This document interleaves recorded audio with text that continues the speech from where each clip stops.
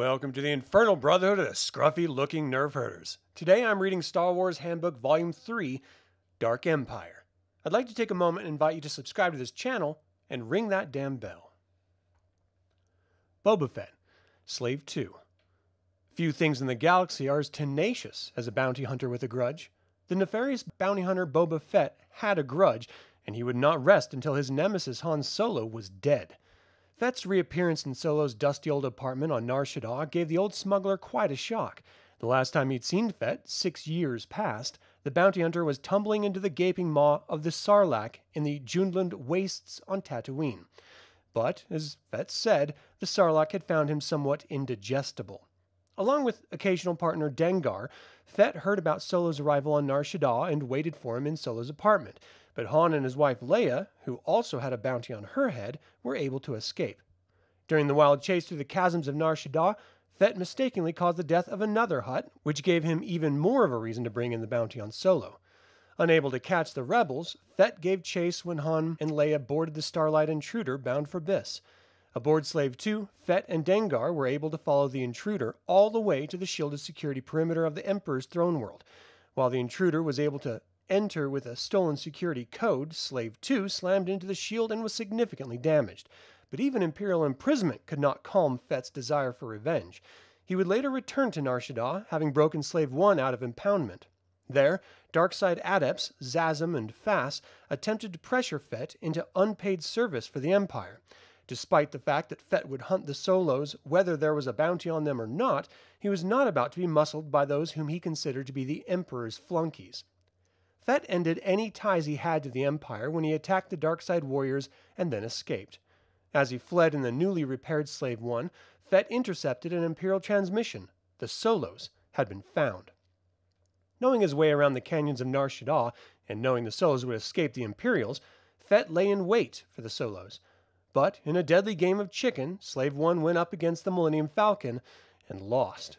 His ship damaged, Fett limped away, but his sensors registered the Falcon's passage into Nar Shaddaa's depths. In the darkest recesses beneath Nar Shaddaa's blanketing city, Fett caught up with the Solos as they attempted to rescue Vima-Da-Boda, but Han Solo's loyal companion Chewbacca had hung back in case of just such an ambush, and he attacked Fett tooth and claw. Boba Fett was able to wound Chewie, but the Wookiee's strength and tenacity nearly matched the bounty hunters. Chewbacca tore Boba Fett's helmet off and engaged the bounty hunter's rocket pack, sending him reeling into the rafters above and allowing his friends to escape. Above Nar Shaddaa, however, more hunters awaited the Solos. While the Falcon's twin turrets were able to destroy the pursuers, Boba Fett was right behind them in Slave One. Han Solo ducked his ship into a gas cloud to escape Fett. Knowing that they could not remain within the cloud for long, Fett waited. But when the Millennium Falcon returned, it was with a new lightning gun designed by Empatojayos Brand. Unprepared to deal with the bizarre technology of the weapon, Slave One was severely damaged, and Fett was left spinning into the gas cloud. Biss. The Emperor's throne world had an elegance to it that went far beyond the staid, bureaucratic monotony of Coruscant's blanketing city. But despite its beauty, it was an entire world that radiated the dark side, a fitting place for the Emperor to stage his return to power. Deep within the galactic core and protected by an impenetrable network of shields and capital ships, the world was a fortress for the Emperor, from which he would launch his most diabolical attacks. While the Rebel Alliance had made substantial inroads against the Empire's other targets, Biss remained untouched by war. Palpatine had long valued the remote world. It became his sanctuary, a place of darkness where all his needs were met and all his most precious items were hidden. Cloning chambers and armies of clone scientists were at Palpatine's disposal, as were the most loyal weapons scientists and dark side adepts. Despite his clone's rapid deterioration, Palpatine seemed invulnerable while on Biss, and his use of force powers there was more of an afterthought than an exercise. When Leia Organa Solo brandished a lightsaber at him, Palpatine waved his fingers and the ancient weapon shattered. When Leia tried to kill the Emperor by dropping a cooling unit on him, Palpatine shrugged off the crushing impact of a ton of machinery. Even where Palpatine's dark side adepts not at his disposal, the planet was populated with an army of the Emperor's most loyal subjects. Luke Skywalker traveled to Biss in search of the dark power that called him across the galaxy and found the resurrected Emperor Palpatine. Within Palpatine's lair and surrounded by the dark side pall that covered the planet, Luke could not stand against the Emperor. Only with the help of his sister Leia did Luke manage to slip through the Emperor's grasp, and only after they had left the planet. After the Emperor's death at Onderon, his flagship, Eclipse II, reprogrammed by R2D2 to return to Biss, collided with the Emperor's galaxy gun. The weapon misfired at Biss, and the rebels watched as the Emperor's throne world was reduced to cinders. Dark Side Adepts Surrounding Emperor Palpatine like a rude cluster of scavengers, the minions of the dark side were as weak willed as they were ruthless. Over the length of his campaign against the Jedi, Palpatine trained numerous force sensitive individuals in the ways of the dark side. These were the Emperor's hands, able to reach across the galaxy to do the Empire's dirty work. While some were merely yes men, cronies barely fit to be footstools in the Imperial court, others possessed tremendous strength in the Force. Coupled with maniacal lust for power or were merely psychotic, these dark side adepts were some of the most dangerous force users in the galaxy, short of the Emperor himself. Perhaps the strongest disciple of Palpatine after Darth Vader, Executor Sedriss, remained loyal to the Emperor after the death of his clone over the rebels' pinnacle base. Sedriss orchestrated the first strikes of Operation Shadowhand, the Emperor's campaign to re-establish the absolute domination of the Empire over any systems that had wavered in their support during Palpatine's absence. When Darkside adepts Nefta and Sa-Di began to destroy the Emperor's remaining clones in an attempt to take the throne for themselves, Sedriss witnessed, judged, and executed them. Unknown to him, the Emperor saw this and was pleased with the loyalty of his disciple. Palpatine immediately dispatched Sedriss to bring Leia Organa Solo to him and to send all of his forces against Luke Skywalker. Darkside adepts Zazim and Fast tracked Leia and her husband Han to the shadowed depths of the smuggler's moon Nar Shaddaa. While their force powers helped them to bully Boba Fett and other residents of the moon into handing over the Solos, they failed to account for Han Solo's legendary Corellian craftiness and luck. During an attempt to capture the Millennium Falcon and the tractor beam of their Star Destroyer, they failed to notice Mako Spince's air traffic control tower nearby. Solo steered closer to the tower until it too was captured in the tractor beam. The beam was severed when the massive structure tore into the keel of the Imperial ship, and as the Millennium Falcon roared into space, the Star Destroyer plunged into the surface of the smuggler's moon.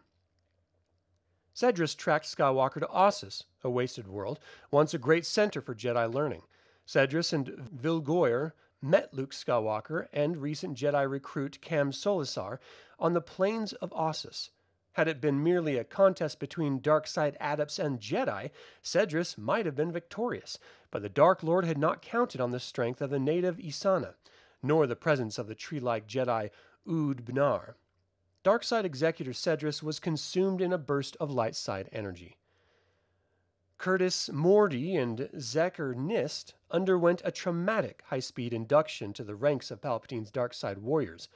As Emperor Palpatine watched his galaxy gun destroy the rebels' pinnacle base, Mordi and Executor Nist traveled to New Alderaan to kidnap Leia's children, Jacen and Jaina.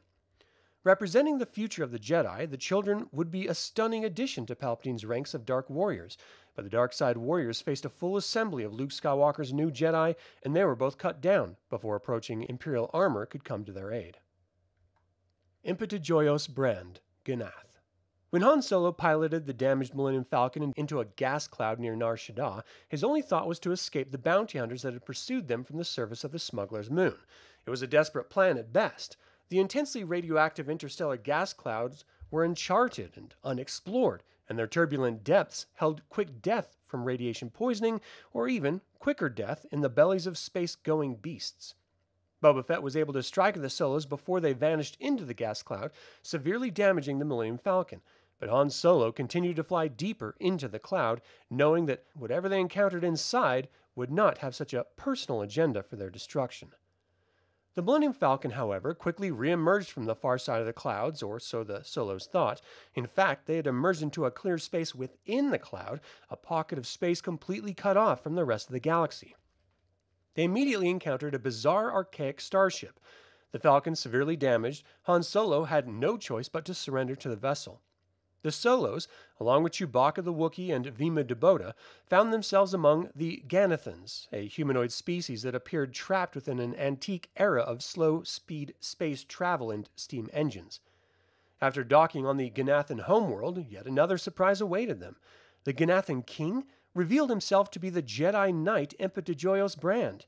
Brand had been among the last of the Jedi to be pursued by Darth Vader in the twilight years of the Old Republic. Critically injured when his ship was destroyed, Empatojayos Brand was left for dead in the cold reaches of space. The Ganathans rescued him and, combining their archaic technology with Brand's, constructed for him a repulsor lift sphere body.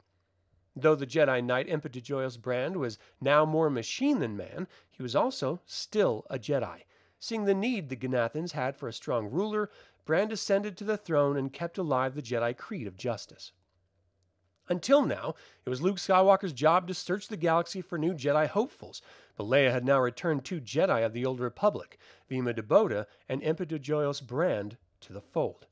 Brand was eager to return to the outside galaxy and participate in the rebuilding of the Jedi. He ordered his engineers to repair the Millennium Falcon. Though the repairs seemed clunky, Han Solo and Chewbacca were pleased to see the ship flew as quickly and steadily as she had before. With Brand accompanying them, they set course to return to the rest of the galaxy, but Boba Fett was still waiting beyond the gas cloud, pacing like an act dog on the fringes of the Nal Hutta system. His opening attack was fierce, but the antique lightning gun installed by Ganathan engineers proved to be as powerful, and Fett's ship, severely damaged, was sent spiraling into the deadly gas cloud. Empatojayos Brand went on to prove that a Jedi does not need a complete body to become a hero. When the Emperor's dark side adepts came to New Alderaan to kidnap the Solo children, Brand fought alongside Luke Skywalker's other Jedi and defeated them. Empatojayos Brand made the ultimate sacrifice later. When Emperor Palpatine disembodied his spirit from his dying clone and attempted to force his way into the infant Anakin Solo, Brand threw his own damaged body in the way and intercepted the Emperor's vile spirit. Knowing full well that his time had come, Brand was still strong enough to bind the Emperor's spirit within his own body when he died, the Emperor died with him. Emperor's Hyperspace Wormhole Vast energy storms that connect wildly disparate spots across the galaxy, hyperspace wormholes are unpredictable and devastating. It was to the Rebel Alliance's detriment that Emperor Palpatine was able to not only control these storms, but to create them.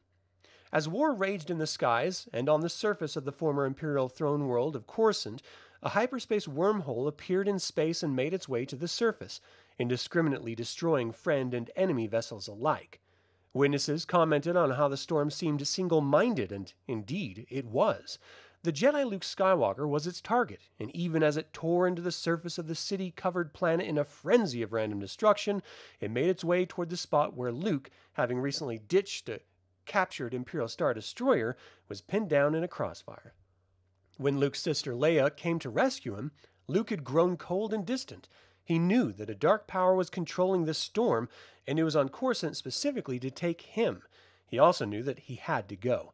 Leia watched in horror as her brother was swept into the storm. Once it had Luke, it retreated.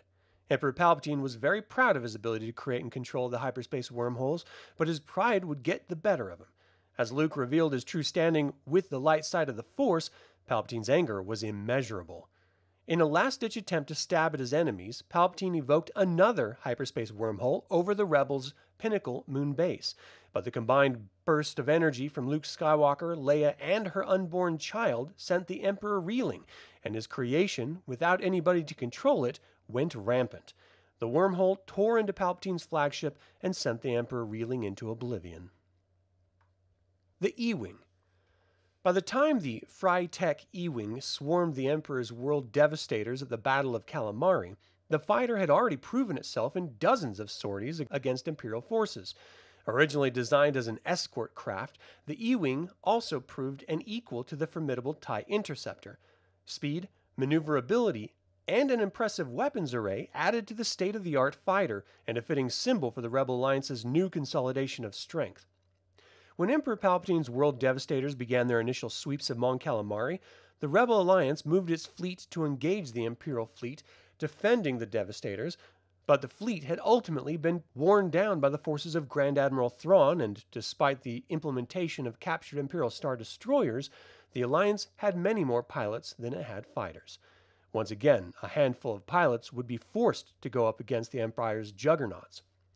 Had the Rebel Alliance the time and resources to properly equip and pilot the E Wing, the tide of battle at Mon Calamari may have turned much quicker, but the fighter was so new that many pilots were flying it for the first time as they flew into battle. Further, in an attempt to boost the firing range of the craft, Rebel engineers crafted makeshift relays to allow the ship's triple laser cannons to absorb three times their normal power feed. While the quick fix made the fighters a match for the Empire's most advanced fighters, the power boost could and did result in many terminal overloads.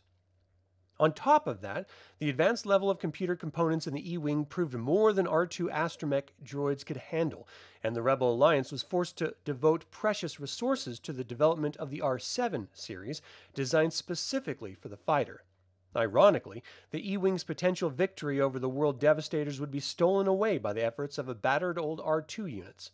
As E Wings swarmed around the World Devastators, methodically tearing Calamari apart, R2D2 used the Devastators' command codes to send the monstrosities against each other, or simply shut them down.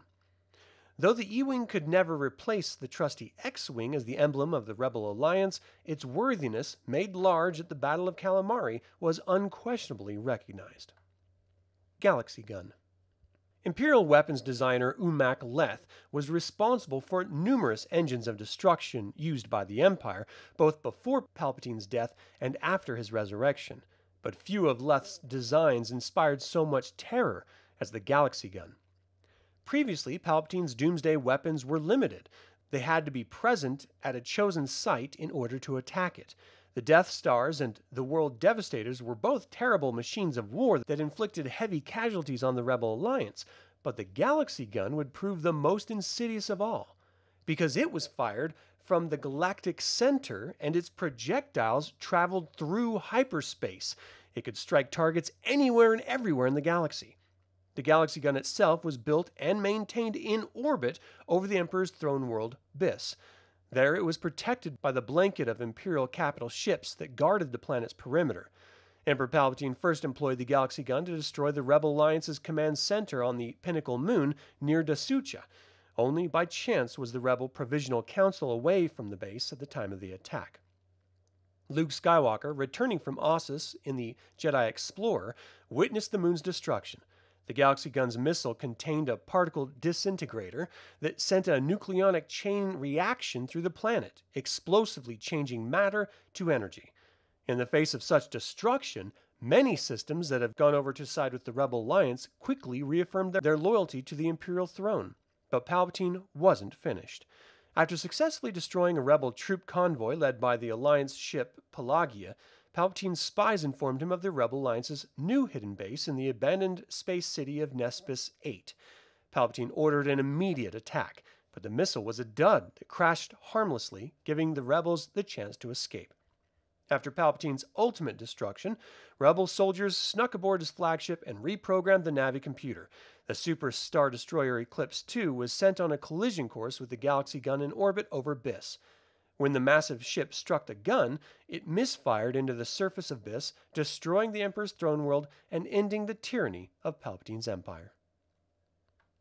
General Lando Calrissian, General Wedge Antilles. The Rebel Alliance was responsible for bringing together some of the most unlikely comrades, but the results obtained by these teams were some of the Alliance's greatest victories. Generals Lando Calrissian and Wedge Antilles could not have been more different, but together their efforts proved to be a significant thorn in the Empire's side. While Lando would have infinitely preferred to be dealing with one or another of his businesses around the galaxy, he could not deny that his friends needed his expertise. Wedge Antilles, on the other hand, was a rebel through and through. Though the two had recently suffered the defeat, the destruction of the Star Destroyer Liberator over Coruscant, the Rebel Alliance sent them both to Mon Calamari when the Emperor's World Devastators appeared. Lando planned for the rescuing Rebel fleet to come out of hyperspace on top of the Imperial fleet that blockaded the planet and defended the world devastators below. The tactic proved excellent, and the Rebel fleet inflicted heavy casualties on the surprised Imperial ships. However, one of the world devastators quickly rushed to aid the Imperial comrades. In space above Mon Calamari, the captured Star Destroyer Emancipator became a very expensive meal for the unstoppable world devastator. Deciding that they weren't cut out to command Star Destroyers, Calrissian and Antilles returned to the Rebel Pinnacle base, but they weren't to be laid up for long. A former Imperial munitions supplier gave the rebels access to a shipment of Viper automaton war droids. While the original plan was to put the droids into action immediately against the Empire, Wedge Antilles had a better idea. Instead of absconding with the shipment, he suggested they ride within the droids as they were taken to the Emperor's throne world on Biss. Once there, they would make a break for the Emperor's citadel and end the entire conflict with one swift strike at the heart of the Empire. The plan would have worked flawlessly, except that the rebels could not have foreseen the Emperor's deployment of his chrysalid beasts, genetically mutated killing machines. While the war droids could absorb enemy fire and turn it back on the Imperials, the chrysalids merely grabbed the war droids and began eating them. Wedge and Lando retreated and were rescued by Han Solo's smuggler friends as they departed Biss. Imperial Dungeon Ship During the Empire's Jedi Purge, Palpatine often needed to transport large numbers of Jedi prisoners, but caging a Jedi was a difficult prospect, so the Emperor assembled the brightest minds in the galaxy to design enclosures that either overpowered a prisoner with energy or provided no possibility of escape. Designer Umak Leth created the Universal Energy Cage, which could control a Jedi prisoner through a variety of networked defenses. In addition to automated stun charges set off by any attempt to touch the bars, the cage's twin repulsor lifts cradled a captive in a polarity field within the cage. But the worst of all, a feedback system within the bars of the cage reflected twice fold any energy directed at them. Other cell systems in an Imperial dungeon ship included multi lock chambers that would present an impossible challenge to even the most advanced psychokinetic, coffin like encasements where prisoners were drugged into a comatose state, and continuous disruptor emitters that nullified the senses or destabilized brainwaves for extended periods.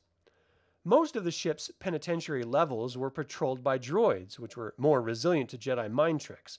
The rest of the crew consisted of engineers who maintained the massive onboard power plants and the dark side adepts who had captured the Jedi. Additional levels were open spaces where the dark side warriors would occasionally release their prisoners and challenge them to duels, favoring the dark warriors, of course. Following the Imperial design standards of instilling terror through its appearance, the Imperial dungeon ship was a hideous traveling prison that left no question as to its use. The arrival of a dungeon ship with accompanying assault and support craft was enough to send citizens into waves of panic and spontaneous evacuation, for nobody ever returned once they were brought on board. When Luke Skywalker was called to Biss by Emperor Palpatine, he was the sole prisoner on board one of these horrible vessels. Vima-Da-Boda. Few Jedi were able to survive Palpatine's Jedi Purge, and those who did either resigned themselves to lonely hermitage in the galaxy's most harsh and remote locales, or lost themselves in the teeming masses of the fringe worlds and their bazaars, cantinas, and smuggling dens. But the Jedi crone Vima-Da-Boda relied on something else entirely to hide her presence from the Emperor's smellhounds despair. Directly descending from the legendary Jedi Vima Sunrider, Vima-Da-Boda was a powerful Jedi during the height of the Republic, but the loss of her only daughter to the dark side was more than she could bear. Vima-Da-Boda flung herself into a despair so deep that not even her closest friends among the Jedi could sense her. Years later, this same masking would serve her well as Emperor Palpatine ascended to power and began his campaign of the destruction of the Jedi Order. But things were different the day that Leia Organa Solo and her husband came through the lower levels of Nar Shaddaa en route to Han Solo's old apartment. Vima immediately sensed Leia's power and reached out to her. As she spoke to the young heroine of the rebellion, her mind flooded with visions. Leia was powerful indeed, and Vima saw in her the spark that would rekindle the Jedi. As if following a prophecy, Vima-Da-Boda gave her lightsaber to Leia and then disappeared. The gift alone would communicate much to Leia. A year later, Leia would want to return to Nar Shaddaa to rescue Vima from the Emperor's new Dark Jedi who were sweeping the galaxy looking for Force sensitives. Luke Skywalker, who had barely begun collecting his own Force sensitive Jedi candidates, was overjoyed to receive the aid of the Jedi crone whose experiences spanned centuries and whose lessons would prove invaluable in the coming times.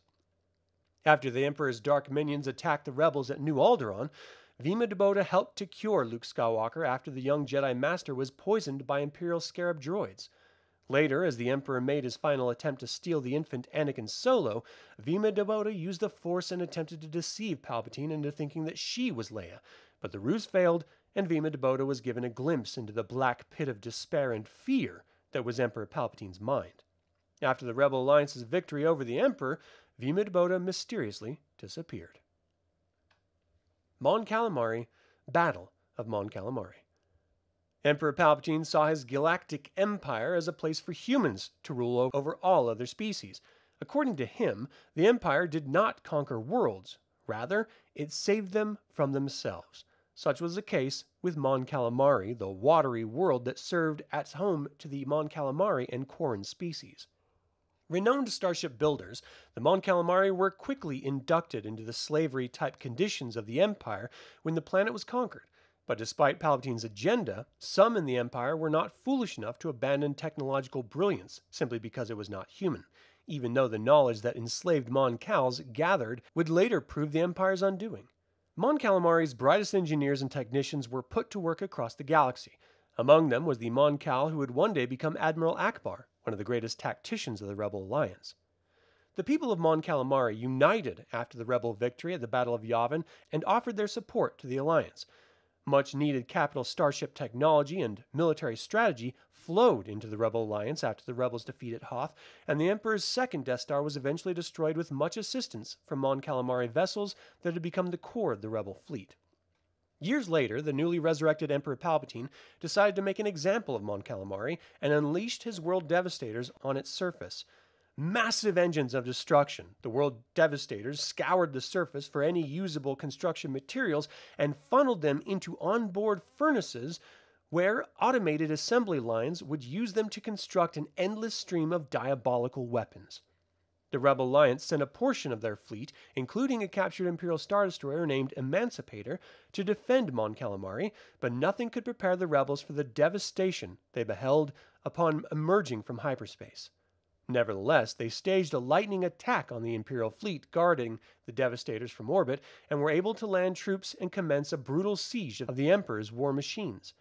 The Mon Calamari did not sit back either, and despite desperate odds, managed to cause the Devastators to regroup.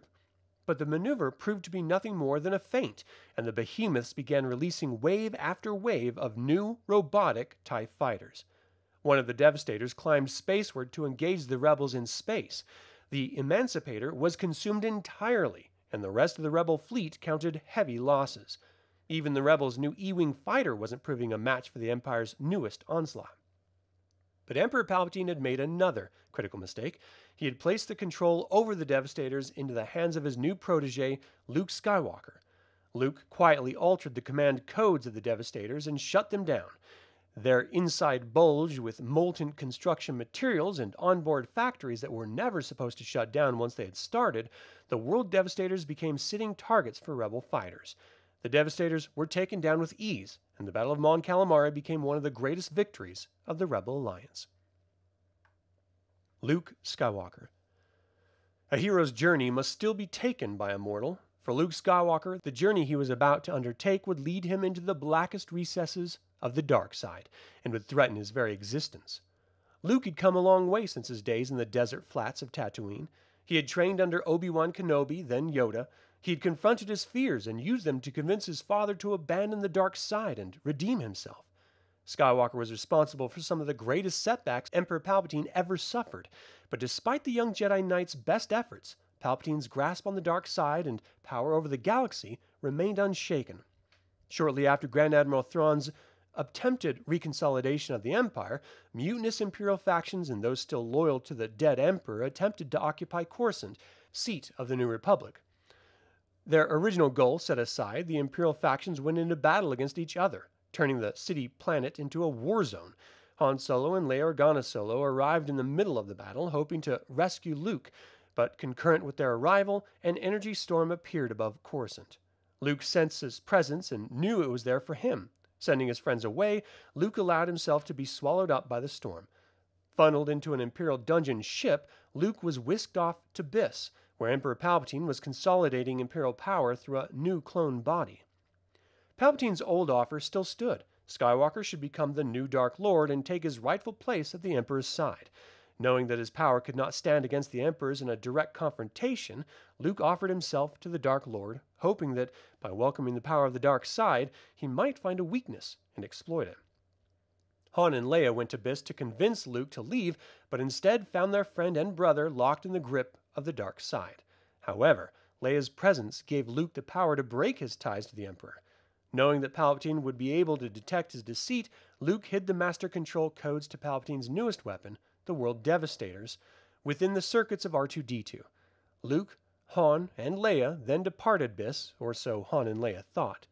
Luke's presence turned out to be nothing more than an illusion, for Luke had to remain behind and finish one final task the destruction of Palpatine's clone chambers. Luke knew that without clones to inhabit, Palpatine's spirit would be consigned forever to the void, but Palpatine was able to transfer himself at the last moment. Within a new clone body, the Emperor was more powerful than ever. After a brief lightsaber battle, the Emperor subdued Luke and broke his will. Together, they would go to Leia Organa Solo, who held the future of the Jedi within her womb, and crush the rebellion once and for all. Above Pinnacle Base, Leia shuttled over to the Emperor's flagship to attempt to collect her brother. Brother and sister fought briefly, but once again, Luke's spirit was lightened by Leia's presence. Telling Palpatine that Within the dark side power, he had also discovered despair and sadness. Luke struck out at the Emperor's clone, but the Emperor's power was vast, and once again he unleashed an energy storm, spawned by dark side anger. But the Emperor's will could not stand against brother and sister united by the power of light, and the energy storm turned to consume the Emperor's flagship. Escaping at the last moment, Luke and Leia watched as Palpatine was consumed by his own dark power. With Emperor Palpatine destroyed, Luke Skywalker turned his attention to the reforming of the Jedi. Luke began to search out Jedi and Jedi hopefuls across the galaxy. Unfortunately, his efforts would fall upon the gaze of an old enemy. For Palpatine lived again, and in desperation, he spread his power through a new group of dark side adepts. Luke traveled to Ossus, an ancient barren world that was a former seat of Jedi training, and thus a treasure trove of Jedi artifacts. There, Luke encountered the Ysanna, a tribal people descended from the Jedi Knights themselves. Though the Ysanna wielded the Force, they had never seen a person with such mastery over it, and they deferred to Luke, offering brother and sister Rafe and Jem to Luke as Jedi trainees. However, Luke's plans were interrupted by the arrival of two of Palpatine's Dark Lords. In the ensuing confrontation, the ancient Jedi Ood Bnar was awakened and helped defeat the Dark Lords. Luke and Jem Ysanna formed a bond during the confrontation. Perhaps the life of a Jedi Master would not be so lonely after all. After witnessing the destruction of Pinnacle Base from an attack by the Emperor's Galaxy gun, Luke and his new Jedi recruits traveled to New Alderaan, the distant world where Leia had hidden her children. Soon after his arrival, however, more of Palpatine's dark side adepts appeared to claim the Jedi infant Anakin for Palpatine's new line of Force strong clones. During the ensuing battle, Jem was struck down by one of the Dark Lords while attempting to protect her new love. Luke joined the others as Imperial troops moved in to destroy the rebel settlement. Smuggler friends of the Alliance were able to save Luke and his family, but Luke could not rest knowing that Emperor Palpatine still lived and threatened galactic peace. As the Emperor continued to launch hyperspace missiles at rebel emplacements across the galaxy, Luke returned to Ossus to unlock other Jedi secrets. There, he discovered that Palpatine minions had already been there and kidnapped the best of the Ysanna as genetic stock for new lines of clones. Luke followed the dark side trail to Vjun, where Darth Vader had built his private retreat, Bast Castle. There, he discovered that Palpatine's new plan was the capture of infant Anakin Solo and the transfer of his spirit into the child. The final confrontation took place on the surface of Onderon, where Luke and his new Jedi confronted the Emperor before he could fulfill his plans. Though the cost in lives was high, Luke's determination to revive the Order of the Jedi could not be swayed, and with the Emperor destroyed, there was nothing that stood in his way. Nar Shaddaa. A nexus of corruption and a monument to greed, Nar Shaddaa, or the Smuggler's Moon, orbits the Hutt's homeworld of Nal Hutta. Its surface is blanketed with a maze of gantries, docking bays, warehouses, and trading zones, but Nar Shaddaa is a pale reflection of the glorious city world Coruscant. At one time, it had its bright spots, such as the opulent Duros sector. During the height of the Neimoidian Trade Federation, Nar Shaddaa was a home away from the home where all the galaxy's decadences were available, and authorities looked the other way. But as the Trade Federation faded in influence, the Duros sector lapsed into disrepair. The Neimoidians, scattered throughout the galaxy, barely survived, reemerging during Palpatine's empire renamed the Duros, a hard working utilitarian species. Han Solo learned much of what he knew about smuggling among the moon's artificial canyons and sprawling towers, and despite abandoning much of his smuggling life when he joined the Rebel Alliance, Han found upon returning to the moon that some of his contacts remained good friends. Unfortunately, other friendships would prove less durable.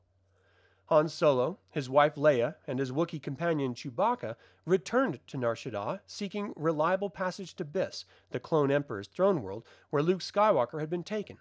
Solo decided to look up his old friends Salla Zend and Shug Nix in Shug's garage deep within the moon's bustling Corellian sector. Bounty hunters, professional and otherwise, tracked the Millennium Falcon after Solo announced his arrival to his old friend Mako Spince. The bounty on the Solos had quadrupled since the death of Jabba the Hutt. One of the hunters broke off when the Millennium Falcon seemingly disappeared behind a holoscreen, but another pursued them and was destroyed in the entry chute to Shug's garage. While there was some tension between Leia and Salla, Han Solo was able to smooth things over in his characteristic style. Salla informed Han that the Emperor was hiding every available freighter for shipping military freight. It would be simple for them to travel to Biss, and Salla's ship, the Starlight Intruder, was large enough that the Millennium Falcon could ride along.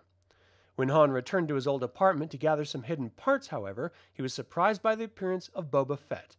But Han was on his home turf and managed to escape from the bounty hunter. Han and his wife arrived at Salla's ship just as it was taking off for Biss. Later, Han and Leia returned to Nar Shaddaa in order to rescue the Jedi crone Vima-Da-Boda from the Emperor's dark side warriors. Nar was as dangerous as it had ever been, perhaps more so. The skies above the moon were darkened by an Imperial Star Destroyer, and beneath the surface, in the dimmest, darkest corners of the city, vicious gank killers and the nefarious Boba Fett lay in wait for the Solos. As Imperial forces chased the Solos on the surface, Han, Leia, and Chewbacca fought off Boba Fett in the underground. They emerged from the deep canyons and were immediately captured in an Imperial tractor beam. Han's old friend Mako Spince had cashed them in. But Han's reputation for being slippery was well deserved. He piloted his ship until the tractor beam was blocked by Spince's docking controlled tower. Before the Imperials could shut off the tractor beam, the tower broke off and been drawn into the Star Destroyer. As the Millennium Falcon sped away, the Star Destroyer smashed into the abandoned gantries and warehouses of the moon. Ossus, the Ysanna. Once a great center of Jedi learning, Ossus was a wasted world when Luke Skywalker arrived seeking artifacts and clues of Jedi past. But the planet's crumbling facade hid much greater secrets. Luke and his apprentice Kam Solusar traveled to Ossus in Luke's ship, the Jedi Explorer. They found a wasteland of rustling hulks and engines of war, remnants of the Sith War some 4,000 years past. Unfortunately, an Imperial probe droid also detected their presence. Emperor Palpatine knew the Jedi history on Ossus and knew that any attempt to rebuild the Jedi would include the planet and all its secrets. Palpatine dispatched Executor Sedriss to capture Skywalker. Meanwhile, Luke and Kam discovered the Ysanna, an aboriginal tribe living among the Jedi ruins. At first, the Ysanna attacked the Jedi, utilizing projectile weapons enhanced through weak implementation of the Force. But once the Ysanna realized that they were in the presence of a Jedi Master, they relented. Luke could feel the strength of the Jedi residing dormant within the Ysanna and realized that these people alone could contribute immeasurably to his plan to rebuild the Jedi. The Ysanna eagerly embraced Luke once they understood why he had come. But Executor Sedriss was not far behind. With fellow dark side adepts Vil Goyer and host of dark troopers, Sedriss commenced to attack the Jedi reunion, but they underestimated the fighting strength of Ysanna made hardy by generations of life on a wasted world, and the Dark Troopers were destroyed. Sedriss and Goyer decided instead to launch a personal attack against Luke and Kam, but Luke had learned much since his first encounter with the Emperor's dark side energies, and he shrugged off the attack, forcing Sedriss and Goyer to attack with their lightsabers. Kam Solusar cut down his former dark side teacher Vil Goyer, and Sedriss was thrown to the ground by Luke's powerful use of the Force.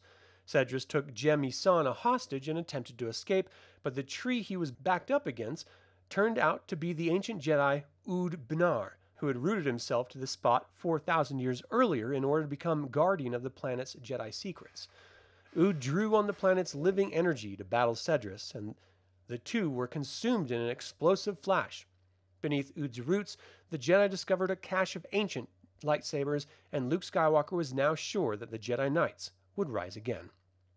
Luke took brother and sister Rafe and Jem Ysanna with him to become Jedi, and even formed a romantic attachment to Jem, but Jem was later cut down defending the Solo children from marauding dark side kidnappers. The Ysanna would later prove to be crucial to the Emperor's fallback plan. If he could not get his hands on the Solo children, his scientists would examine the Ysanna as potential vessels for his dark side power. The dark side adept Xecr Nist took Chief Aako and the other leaders of the Ysanna prisoner and had them frozen in carbonite to await the Emperor's personal attention. Emperor Palpatine The Rebel Alliance thought that Emperor Palpatine was killed by Darth Vader just before the destruction of the second Death Star. His death at the hands of Darth Vader was apparently merely a setback, and the evil Emperor Palpatine, steeped in the ways of the dark side, seemed prepared for any eventuality. Long before the Rebel Alliance proved to be troublesome for Palpatine, he had discovered that the corrupting power of the dark side had a detrimental effect on his physical form. Utilizing long lost magic and the science of cloning, Palpatine created a steady supply of clones of his own body, into which he could throw his being and thus rule the galaxy forever. It was into one of these clones, located on Palpatine's hidden retreat world Biss, that Palpatine projected himself. As the Rebel Alliance began to celebrate its victory over the Empire, Palpatine waited while forces loyal to him amassed in the skies of Biss. With his new fleet, the Empire launched a new series of attacks, first on Coruscant, the one time Imperial throne world so recently taken by the New Republic, and then with his mighty world devastators, Palpatine attacked the waterworld Mon Calamari, aiming to wipe out the Rebel Alliance's strongest allies. But even as this new wave of terror swept across the stars, Palpatine had a much more personal agenda the recruitment of Luke Skywalker, Jedi Knight, as replacement for the Dark Lord of the Sith, Darth Vader. Luke had sensed the Emperor's return and, and knew that great destruction would rain down on his friends unless he went to Palpatine. Faced with the Emperor's limitless power and immortality, Luke succumbed to the dark side but even as Palpatine handed over control of the new Imperial fleet to, to, Skywalker, he knew that the young Jedi Knight would begin to sabotage his efforts. Palpatine also knew that Luke's sister, Leia Organa Solo, would attempt to rescue her brother and unwittingly hand over that which Palpatine truly desired the force strong child she carried in her womb. Palpatine's own cloned bodies were getting further and further away from the original, and thus they were decaying faster and faster. The Emperor needed a new template, a new, powerful body to inhabit and consolidate his control over the galaxy. The unborn solo child would be that vessel, and Luke Skywalker would aid Palpatine in getting it. Resisting the dark side one last time, Luke was able to destroy almost all of the Emperor's clones in waiting before he succumbed to Palpatine's strength. But Palpatine could not foresee the strength of the light side as Leia finally got through to her brother and pulled him out of the darkness. Together, and with the third Force wielder stirring in her womb, Luke and Leia were able to overcome the Emperor with light side energy, cutting him off from the dark side and the malevolent energies he had spawned. Finally, the Emperor was consumed by his own hyperspace wormhole. But a single clone had survived Luke Skywalker's attack. Emperor Palpatine revealed himself as two of his subordinates were displaying an alarming lack of loyalty and attempting to complete the destruction that Skywalker had not finished. Hearing the Skywalker's victory over his dark side pupils, Palpatine decided it was time to test his new weapon, the Galaxy Gun, on the Rebel Pinnacle base. Luke Skywalker arrived just in time to see the mysterious missile appear out of hyperspace and completely obliterate the moon. Palpatine's final eradication of the rebellion had begun. Palpatine could only rule the galaxy while he yet lived, and his current clone, so far from the original, was decaying at an advanced rate. He needed fresh genetic stock, strong in the Force, with which he could create a new endless source of clones. Of course, there was no better candidates than the children of Luke Skywalker's sister, Leia Organa Solo. Palpatine had already felt the strength of the child within Leia's womb when she and Luke had united in light to drive back the power of the dark side. Palpatine dispatched his dark side adepts to New Alderaan to steal away the young twins Jacen and Jaina, but they were repulsed and destroyed by the Jedi candidate Luke Skywalker had already found. The rebels had once again slipped through his grasp. The Emperor continued his galaxy gun attacks, but it was becoming more and more obvious that his clone body could not live much longer. Without a new body, he would be resigned to the utter madness beyond death. Palpatine traveled to Korriban, the hidden world crypt of the Sith Lords and Palpatine's private place of power. Here, among the vaults containing the mortal remains of Sith Lords, Palpatine would ask for the Sith Lords' spirits' help in halting the decay of his flesh. Instead, the spirits fed him a vision of the infant Anakin Solo. Palpatine would have to transfer his spirit into the child. Journeying to Onderon, where Leia Organa Solo had taken sanctuary among the Beast Riders, Palpatine disguised himself as a pilgrim and crept inside to confront the mother and child. Leia had grown strong in the Force under the tutelage of her brother, and she repulsed Palpatine's attacks, weakening his body considerably. But Palpatine's resolve was powerful enough to fight back, and as Luke Skywalker's Jedi trainees filed in to protect the infant Anakin, Palpatine cut them down.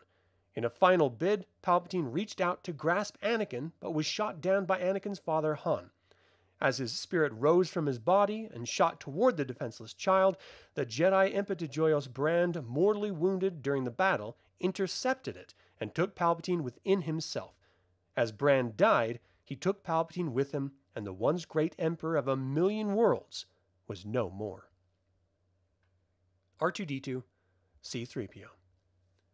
In the valiant struggle for freedom, the Rebel Alliance has relied on heroes of all species, but two of its greatest heroes were not living beings at all. Having proved themselves more than worthy on a number of occasions, R2D2 and C3PO would prove very valuable to the Rebel Alliance in the dark days following the return of Emperor Palpatine. When Luke Skywalker was consumed by the Emperor's hyperspace wormhole during the Battle of Coruscant, R2D2 was by his master's side. Skywalker's falling into the clutches of this enemy proved quite perplexing to the little droid, but R2 remained faithful, even when Skywalker's efforts seemed to be directed against the Rebel Alliance and when Skywalker seemingly erased R2's memory banks. Han and Leia Solo, along with Han's friends Shug and Salla, made a daring rescue attempt, infiltrating the Emperor's throne world and spiriting away Luke and R2, while Luke himself turned out to be an illusion, R2, his memory banks restored, slipped away with the rescuers. Luke had encoded the command control codes for Emperor Palpatine's world devastators within R2. The spirited droid had once before carried the Emperor's secrets into the hands of the Rebel Alliance, allowing them to find a crucial weakness in the Death Star. This time, the world devastators would be simply shut down. When the Rebel Alliance sent a task force to the Emperor's throne world within a shipment of Viper Automaton battle droids, R2 and 3PO went along with them. R2's experience with Imperial computers was invaluable, and 3PO would be needed to translate raw data on the Imperial forces. Though the plan was foiled by the introduction of the Emperor's chrysalid beasts, the droids aided in the rebels' escape and unwittingly caused the destruction of the primary defense system of the Emperor's citadel. Later, within the Rebel Alliance's new hidden base in the abandoned space city of Nespis 8, 3PO and R2 discovered a spy among the rebels, giving the Alliance the opportunity to escape from an imminent attack by the Emperor's galaxy gun. When the Emperor attempted to kidnap Leia Organa Solo's children himself, 3PO threw himself between Palpatine and the children, buying precious time for the Jedi to regroup and attack the Emperor. Finally, R2D2, taken along on a mission to infiltrate the Emperor's flagships, rerouted the ship's command and instructed the Navi computer to send the ship back to Biss, where it collided with the Galaxy gun and caused the destruction of the entire planet. The strength of the Rebel Alliance and ultimately the New Republic flowed from its diversity, and the leaders of the Alliance recognized the heroism of all its devotees, including droids. Indeed, some believed that the droids themselves should be granted all the freedoms of citizenship enjoyed by members of the New Republic. Salla Zend Shug Nix. When Emperor Palpatine returned, even those who tried their best to avoid the galactic conflict could not just wait for one side or the other to win, and when the Emperor's minions came after one of their friends, Salla Zend and Shug Nix responded ferociously. It's not like they had a choice. Han Solo arrived at Nix's spacer garage with a bounty hunter on his tail. By shooting down the hunter, Nix incurred the wrath of the Hutts, who had quadrupled their bounties on Han and Leia Solo since the death of Jabba the Hutt.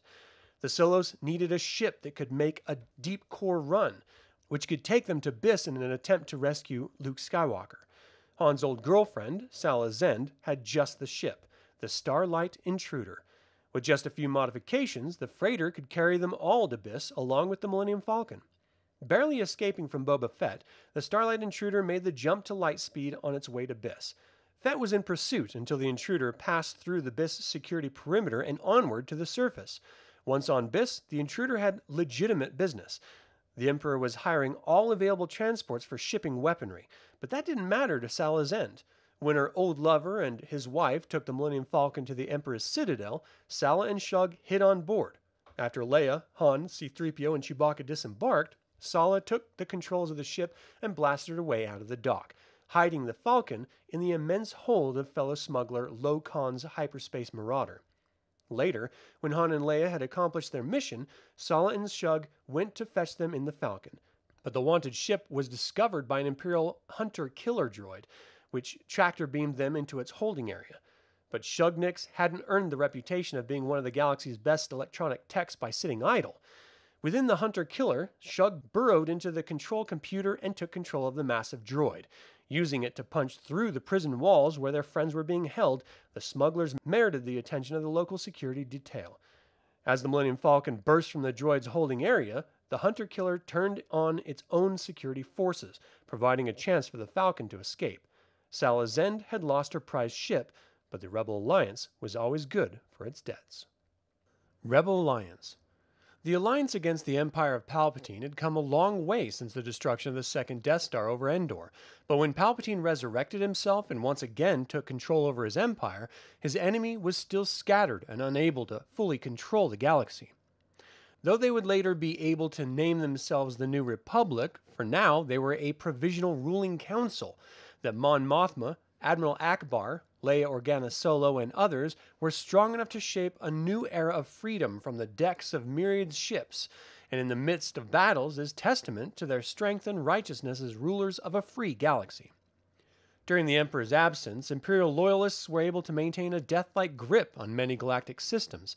As the rebel leaders began coping with maintenance and leadership of the galaxy, their efforts were constantly interrupted by marauding Imperial warlords. As it turned out, this was a diversion to keep the Rebel Alliance off balance until Palpatine could return and reclaim his newly consolidated empire.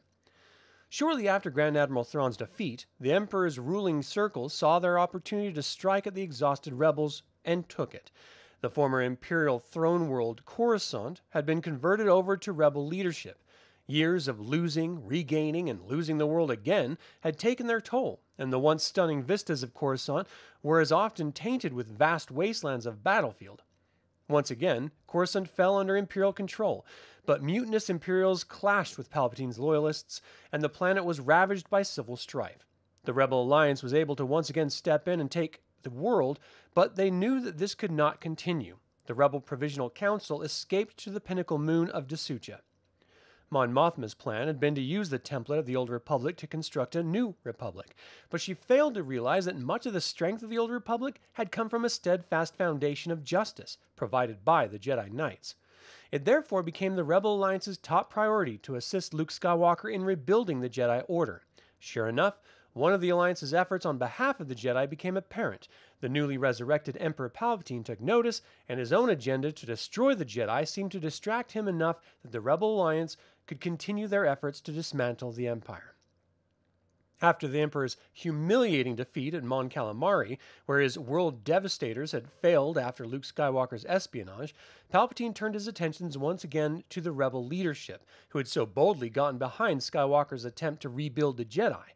With his new galaxy gun, Palpatine made a decisive stroke at the heart of the Rebel Alliance, firing the weapon at the rebels' provisional headquarters on the Pinnacle Moon. Though the base and the entire moon were completely destroyed, the Rebel Provisional Council has made their escape. In response, the rebels launched a personal attack at the Emperor's cloning facility on Biss. The Emperor was suitably enraged, but the Rebel Alliance was on the run once again. The rebels took shelter in the abandoned space city of Nespis 8, a vast space going hub abandoned since the days of the Old Republic. There, Leia Organa Solo gave birth to her third child, Anakin. Shortly afterward, Palpatine's agents discovered the Rebel Alliance's location, and Palpatine fired his galaxy gun once more. But the first missile was a dud and crashed harmlessly into the station, giving the rebels a chance to escape. As the second missile struck its target and exploded with ferocious energy, the rebel fleet jumped into hyperspace. After the destruction of the Emperor and his throne world, the rebel fleet returned to Coruscant to take possession and begin the long, arduous task of rebuilding. Here, the Rebel Alliance officially became known as the New Republic, under the leadership of Mon Mothma as Chief of State and Leia Organa Solo as Minister of State.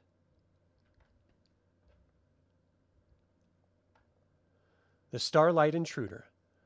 Though some starships are indelibly recorded in the annals of the Galactic Civil War as significant participants in historic events, other ships operated quietly behind the scenes and carved out impressive records all their own.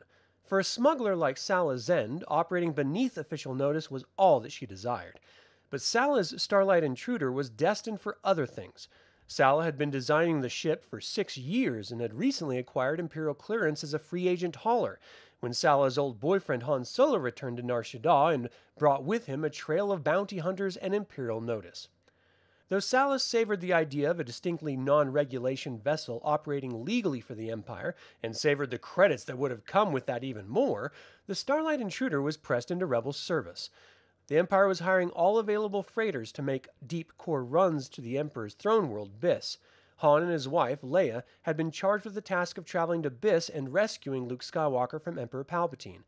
While Han and Leia avoided capture by Nar Shaddaa's indigenous bounty hunters, Salla Zend had the Millennium Falcon attached to the Starlight Intruder's hull.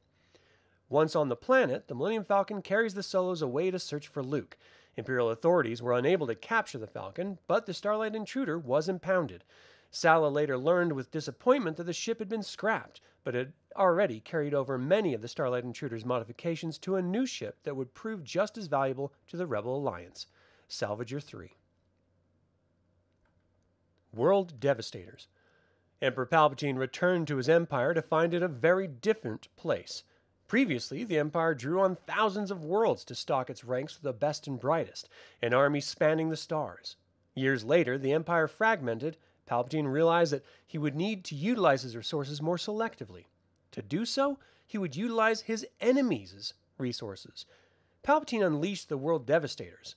Designed by Umak Leth, an Imperial engineer who had assisted Palpatine since the Jedi Purge with such devices as the Universal Energy Cage, the World Devastator used an opponent's energy and resources to build Imperial machines of war. Powered by miniature black holes, World Devastators were heavily armored, portable processing plants. A vast mouth at one end swallowed structures, weapons, and any raw material into molecular furnaces within the belly of the mechanical monster.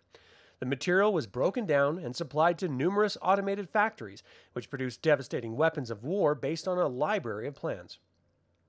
Suddenly, the Emperor's primary means of instilling fear in citizens was not simply destructive, it was a builder of nightmares that stole from the planet in order to move to the next.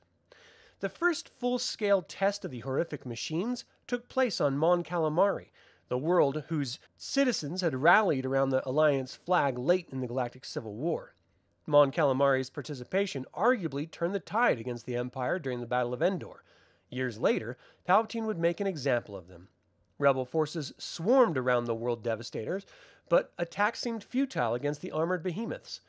As the attack progressed, the internal factories began producing vicious new weapons, including the TIE D, a robotic fighter capable of outflying and outgunning any Alliance vessel. It was not until Luke Skywalker hid the master control codes for the World Devastators in R2D2's circuits that the Rebel Alliance had a chance against the Emperor's mightiest weapon of war, once the kilometer long vessels were shut down, however, it was a simple matter for Alliance soldiers to take them over and destroy them. Leia Organa Solo, the Solo family. In her own way, the sister of Luke Skywalker was more powerful than her brother, or even their father, the Jedi Anakin Skywalker, who became the Dark Lord of the Sith Darth Vader. For it was within Leia to give birth to the children who would one day become the new generation of Jedi and return light and freedom to the galaxy. Her brother had taught her much since the fateful day when she discovered the Jedi legacy within her own blood, but now, with her children Jacen and Jaina on their way to become great Jedi in their own right, and a third Force strong child within her womb, Leia would have to address her link to the Force, and quickly. Though war raged on across the galaxy, life had to continue, even for Princess Leia Organa Solo. Diplomat, warrior, figurehead of the Rebel Alliance, this maxim held true. With her husband, one time smuggler extraordinaire Han Solo, Leia built a family, but their timing could not have been worse. Leia knew that the twins, Jacen and Jaina, were the future of the Jedi Order. Her brother Luke had envisioned it. Vima-Da-Boda had foreseen it. Even the resurrected Emperor Palpatine, eager to expand the ranks of his dark side warriors, had foreseen it. Thus, the children, barely old enough to speak, became a treasure worth ravaging a galaxy for. Leia had her children hidden in the remote world codenamed New Alderaan under the care of Leia's lifelong friend Winter. The children would, would be raised in relative isolation from the war raging just a few systems away. Leia and her husband also felt the need to strengthen the family ties with her brother, Luke. More and more, Luke was becoming introspective, his thoughts dwelling on their father, Anakin Skywalker, and the dark side specter he had been trapped within for so many years. Afraid that the dark side was becoming more and more appealing to the young Jedi, Leia rushed to join Luke when Coruscant became the battleground for former Imperial warlords and those who had remained faithful to Emperor Palpatine's empire. Luke's Star Destroyer had crashed to the surface during the fighting, but no sooner had Han and Leia discovered Luke among the crossfire than a bizarre energy storm appeared out of hyperspace and sped toward the surface. Her force abilities strengthened by her training with her brother, Leia was able to help, but her brother decided that the storm was here to collect him, and he was compelled to go. Leia tracked her brother to Biss, the new throne world of the resurrected Palpatine. Luke had apparently gone over to the dark side, his will unable to withstand the Emperor's power. Her arrival on Biss was welcome news to Palpatine, who immediately called her in front of him. With both of Vader's children under his control, Palpatine's empire would be unstoppable. But Leia's will, buoyed by Han's Corellian stubborn streak and her own Skywalker anger, kept her from buckling under Palpatine's dark invitation. Catching the Emperor off guard, Leia threw him to the ground and snatched up a Jedi holocron as she made her escape. Confronting Luke, Leia asked him to come with them. Luke explained his plan of defeating the Emperor by secreting the plans for his new war machines in R2D2. Leia was overjoyed when Luke decided to accompany them off Biss, but once they were airborne, Luke turned out to be nothing more than a Jedi illusion. He remained behind on Biss to wait for his chance to destroy the Emperor.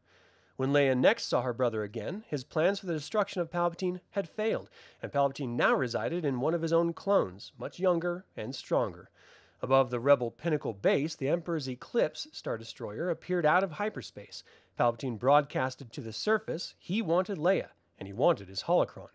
After that, he was prepared to discuss a truce with the rebels. Leia could not resist her final opportunity to rescue her brother. Indeed, her words swayed him, and he turned on the Emperor. In his anger, the Emperor loosed another energy storm on the rebel fleet, but Palpatine's dark side powers could not stand against Luke and Leia's powers together, augmented by the force strong child in Leia's womb. Bathed in light side energies, Palpatine lost control of the energy storm outside. Leia and her brother escaped from Palpatine's flagship as it was consumed by the energy storm. With the Emperor supposedly destroyed, Leia returned to her diplomatic duties among the Rebel Alliance command. Her husband, Han Solo, still dealt with a bounty over his head. Despite that, he once again returned to Nar Shaddaa in hopes of finding the Jedi crone Vima-Da-Boda, who had proven valuable in Luke Skywalker's plan to revive the Jedi. Jedi Holocron Relics of enormous age and stunning power, the Jedi holocrons were once a time honored teaching device among the Jedi, allowing students to learn from the great Jedi who had passed before them. The genesis of the holocrons was lost in time, but the undeniable power of the small cubes made them some of the most highly sought after relics. Thus, when Palpatine finally found one, it became one of his most prized possessions, and he learned much from its limitless store of knowledge. It was information that he would use against the Jedi. When Luke Skywalker and his sister Leia eventually came to him, Palpatine brandished the holocron as if to crush the Jedi hopefuls' dreams by showing them the power the Jedi once had and the power that he alone had subjugated and eventually all but snuffed out. But Palpatine failed to reckon with Leia's willpower, and in a moment of weakness, she disabled him and stole the holocron. In her first interaction with the holocron, Leia knew that despite Palpatine's long years spent with the device, he had failed to extract the deepest pieces of knowledge, locked away within the holocron's core and accessible only by force strong individuals steeped in the light side. The holocron recognized Leia as such and opened up to her as it never had for Palpatine. Thus, while Luke Skywalker scoured the galaxy looking for Jedi hopefuls or the rare force strong beings who had escaped the Emperor's Jedi purge, Leia herself added immeasurably to the effort to revive the Jedi. The holocron contained the teachings of the Jedi Master Bodo Baas. Leia learned much from Bodo Baas as her brother attempted to penetrate the mysteries of the dark side more directly. Baas, a powerful Jedi from the Old Republic, related to her story of Ulic Qel-Droma's quest to learn more of the dark side's secrets and how it destroyed everything in his life before it destroyed him. Through the teachings of Bodo Baas, Leia knew that she needed to return to her brother, and together they would return to the light. Star Wars Dark Empire Promotional Art, 1990 by Cam Kennedy. Star Wars Dark Empire, published in 1990 to 1991, was Dark Horse Comics' very first Star Wars publication. Each issue ended with a lengthy text piece fleshing out the world and backstory of Dark Empire as Lucasfilm and Dark Horse saw it at the time. Though some of these ideas have been superseded by later Star Wars comic books and novels, they're presented here as a record for the creators' original world building plans. Star Wars Dark Empire number 1 From a Time of Peace to a Time of Darkness. It is now six years since the Battle of Endor when the Rebel Alliance successfully destroyed the second Death Star, and Darth Vader, the Emperor, met their fates. In the months immediately following the decisive victory, there was a joyous uprising throughout the galaxy. The Emperor's tyrannical bureaucracy collapsed, and the Imperial fleet was forced to retreat among the planetary systems, still firmly under its military control. The Rebel Alliance, guided by Mon Mothma, then announced the establishment of a new republic. Its provisional seat of government was to be Coruscant, the ruling world and the Imperial system. It was a time of peace and celebration. Unfortunately, as things developed, the peace was short lived, and the new Confederation proved to be a fragile one. Soon after, the Imperials, in cooperation with the Emperor's ruling circle, managed to consolidate control over roughly a fourth of the galaxy. Whole systems became fortresses bristling with firepower. Mon Mothma, for her part, seemed determined to model the new republic on the old, ignoring the obvious fact that the stability of the old republic had depended on the now extinct warrior society of Jedi Knights. So it was that a brief period of celebration was followed by years of struggle. The now infamous Grand Admiral Thrawn, last of the Emperor's powerful warlords, mounted a deft assault on the fledgling Republic. Others followed his lead, and production of war technologies expanded rapidly on all the Imperial worlds. The alliance very quickly found itself on the defensive, as the Imperials gradually regained strength, pushing back on the alliance until the majority until the majority of worlds, including the vital Imperial system, fell once again under Imperial control. For a time, it looked as if the new empire was about to emerge from the ashes of the old, but that very possibility triggered a power struggle of immense proportions. Who would sit in the Emperor's throne? Who had the right and the might? The question was no sooner asked than it was answered, with violence. Powerful admirals and fleet commanders took up arms against each other and against the Emperor's ruling circle in ferocious contention for control of the empire. The Alliance seizes the day. The mutinous strife among Imperials was a golden opportunity for the beleaguered alliance. Using all the resources at their disposal, the rebels delivered stinging blows against the feudal, feuding armies. Star destroyers captured in the Battle of Endor conducted highly effective hit and run sorties into the war zones, sowing chaos and confusion among all the warring factions. As our story opens amidst the chaos of civil war, old friends have fallen, and other old friends are on a mission of rescue. These are the brave fighters of the Re- Rebel Alliance, their friendships forged during the endless struggle for freedom. Over the years, they have become battle hardened, perhaps, but they've also grown wise in the ways of the heart. The force is strong in your family. In the peaceful months after the Battle of Endor, Han Solo and Princess Leia Organa were married, and in the years that followed, Leia gave birth to two children, twins, a son and a daughter.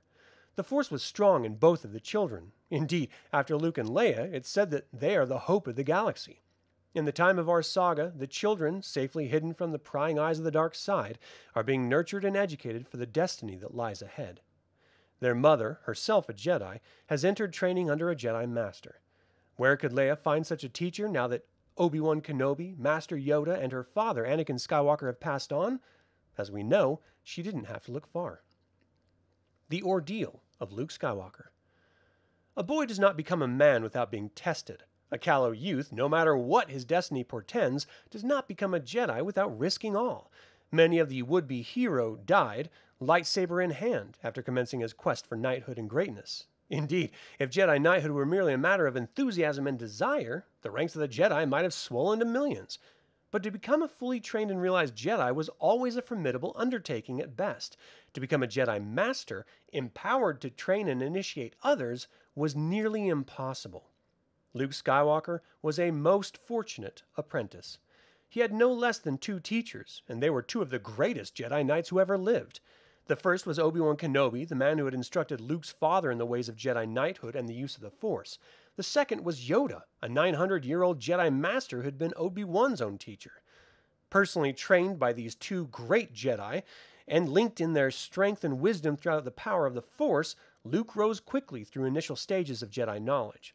Thus, he became instrumental in the overthrow of his father, the fall of the Emperor, and the restoration of the Republic. And yet, Luke's teachers, nearly despairing over his willingness to disregard the advice of this older and wiser than himself, and his failure to come to terms with his hot headed recklessness, at times it seemed he was even on the verge of following the selfless and willful road that the selfish and willful road that leads to the dark side, in which the vast potentials of Jedi power are directed toward the triumph of the will, self aggrandizement, and the enslavement of the many by the few, tempered by the realities of war.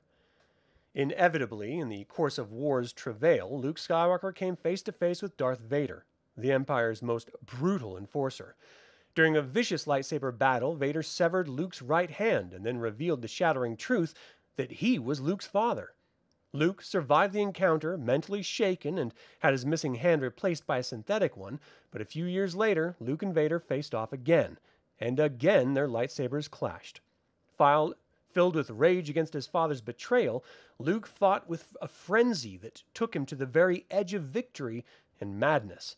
With his lightsaber pressed against his father's throat, a moment away from committing patricide, Luke suddenly understood that if he gave another inch to his hatred, he would belong to the dark side forever.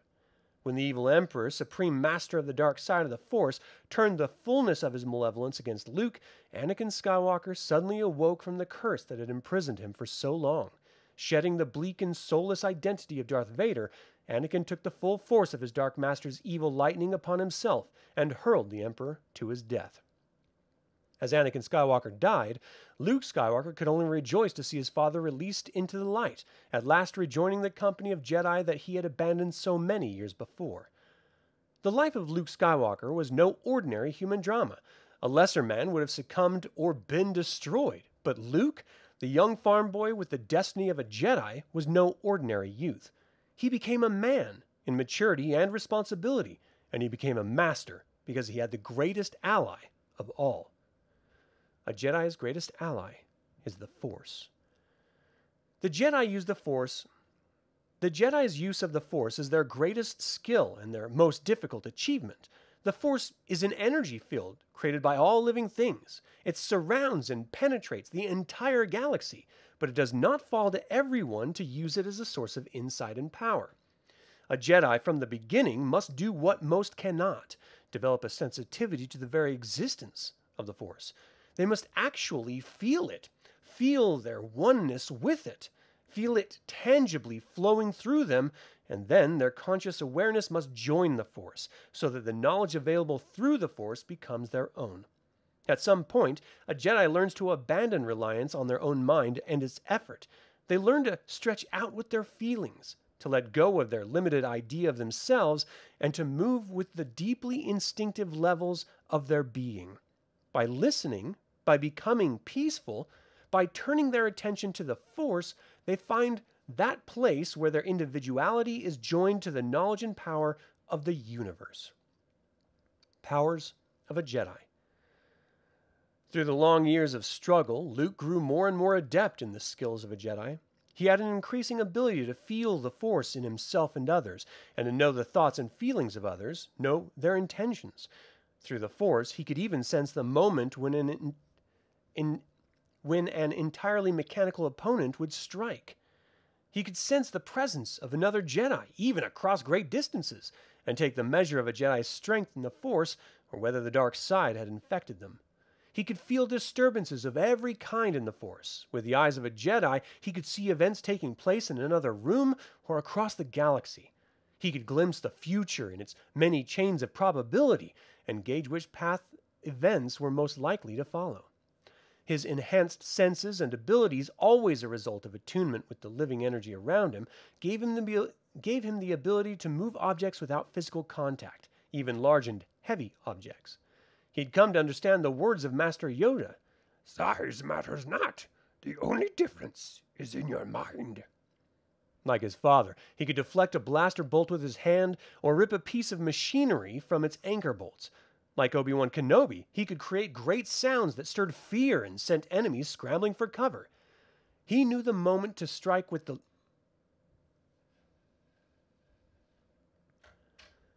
He knew the moment to He knew the moment to strike with a lightsaber and the moment to step back. He could navigate a ship by instinct alone. He could do astounding feats of acrobatics and make incredible leaps. He had the ability to withstand great pain, fatigue, hunger, and thirst. He could transfer a portion of his life energy to another and accelerate healing in himself and others. And with a word or gesture, he could create thoughts and feelings in the weak minded, sometimes even in the minds of the strong. Instead of growing proud as he acquired greater knowledge and skill, Luke Skywalker became more unpresuming. He recognized that he drew his strength not from himself, but from the energy of life itself and he became aware that he had just begun to plumb the depths of the possible. For it is said the ancient Jedi Knights, including Master Yoda, had many more skills than these, even the power to manipulate the molecular structure of the universe, to live beyond death, and to guide the path of humankind to righteousness. And there lies the key. For a true Jedi, no matter how far they progress, does not use their power for its own sake or for personal ends, but for the good of others. Luke Skywalker, the man, is adept at all the principal powers and practices of a Jedi, and he stands at the threshold of awakening to the legendary powers of the great masters of old. But as we shall see, others committed to the path of the dark side are also gaining access to powerful secrets. Luke is not alone in his quest for mastery. As Luke's father once said during the time when he served the greatest known wielder of the dark side of the Force, the Emperor, the ability to destroy a planet or even a whole system is insignificant next to the power of the Force. Go carefully, Luke. You have won much, but the war is not yet over. Go carefully and remember, the Force will be with you, always. Acknowledgements. The writer of this comic book wishes to acknowledge the technical assistance of West End Games, publishers of the Star Wars role playing game, also the assistance of the Bennington, Vermont Star Wars Club, especially Mr. Todd Bliss, whose expert criticism has been invaluable. Star Wars Dark Empire number 2. You don't know the power of the dark side. The Emperor will show you the true nature of the Force. He is your master now. Darth Vader speaking to Luke Skywalker. High over the Endor moon, a great space battle rages across the jeweled night, and in the throne room of the second Death Star, Luke Skywalker stood for the first time before Emperor Palpatine, supreme architect of the galaxy engulfing empire. It quickly became clear to Luke that this decrepit and seemingly defenseless old man was masterfully adept in the ways of the dark side of the Force. Indeed, as Vader had warned, the Emperor had become the dark side's most powerful expression, with sublime arrogance, the old magician threw down a challenge to the young Jedi. I can feel your anger. I am defenseless. Take your weapon. Strike me down with all your hatred, and your journey to the dark side will be complete. The, Emperor conf- the Emperor's confidence rested on a sure knowledge of what he had become and what the dark side could do for him. He seemed open to all the possibilities of the moment Luke's death, Vader's death, even his own death. No matter what the outcome of this terrible confrontation, he, Emperor Palpatine, would conquer. Flesh does not easily support this power. As we now know, at the fateful moment when the Emperor already possessed a great secret, he was utterly unafraid to die because death could lay no claim on him. In the beginning, as he machinated his way from senator to president of the old republic, the dark side of the Force had been a key to political ascendancy. When he declared himself emperor, it became his means of consolidation and control of the galaxy. The mere fact that through the Force he could observe his political enemies without their knowledge gave him an insurmountable advantage over ordinary men. And his dark side powers, combined with the most sophisticated military technology ever known, provided the strength he needed to vanquish his most dangerous opponents, the thousands of Jedi Knights, guardians of justice throughout the galaxy. But early on, Palpatine learned that addiction to the fathomless energies of the dark side carried a great price. Age and physical decay hastened their pace, and his body collapsed towards ruin like a world oppressed. It was a vexing predicament for one who had succeeded in subjugating everyone and everything that stood in his path. The most ruthless enemy of all, death, was laughing in his face. The secret of Ashka Boda. Desperate for a solution to his dilemma, the Emperor sent agents into every part of the galaxy, searching libraries, sifting through the wisdom of alien cultures, combing the detritus of civilizations long dead for forgotten secrets and cures. Jedi Masters were brought before him and questioned and tortured in the hopes that their dying screams might reveal some bit of Aeon's old lore. Eventually, something was found an artifact in the possession of a very old and very wise Jedi named Ashka Boda. Ashka Boda was murdered, and the ancient object he held in his possession was confiscated. Then, putting the science of cloning together with the knowledge he stole from the old Jedi, the Emperor prepared himself for a transition to eternal life the cloning of absolute malevolence. So it was while the newly formed Rebel Alliance struggled valiantly against the ever expanding tide of tyranny and darkness, Emperor Palpatine instituted his stratagem for ultimate survival. On a hidden world deep in the galactic core, Palpatine prepared a genetic clone of himself and raised this clone to young manhood. At the moment when his diseased and crippled flesh could no longer sustain itself, he moved his mind and formless energy into the youthful replica. However, because of imperfections in the cloning process, the new vessel was more vulnerable to the depredations of the dark side. As a result, the Emperor's new body would age even more rapidly than the old, becoming corrupted and useless within a few short years. But other clones were being prepared, and others after them. With an inexhaustible supply of young and healthy receptacles at his disposal, the Emperor could split could spit in the eye of death and rule confidently over the Empire forever. When Darth Vader hurled Emperor Palpatine to his doom, it seemed to Luke and the Alliance that the rule of darkness had come to an end. But in that moment, when flashing blue energy rushed from exploded flesh, the Emperor entered a bodiless transitional state, a, as conscious dark force was translated across the galaxy. In the clone labs on Biss, a young Emperor opened his eyes and laughed. He had won. The Empire would survive. Welcome to Biss a dark side world. In the deep galactic core, hidden behind the protection of the Imperial hyperspace security net, lie whole systems of worlds shrouded in mystery and legend. Chief among these worlds is Biss, a place of sinister beauty and luminosity, a world completely imbued with the power of the dark side. It is on Biss that the Emperor is establishing his model for the galaxy wide society of the far future, when the dark side of the Force will rule all without the need for weapons. It is on Biss that he took a clone body, and here new clone bodies are being continually created for him in laboratories operated and supervised by darkside adepts and clone keepers.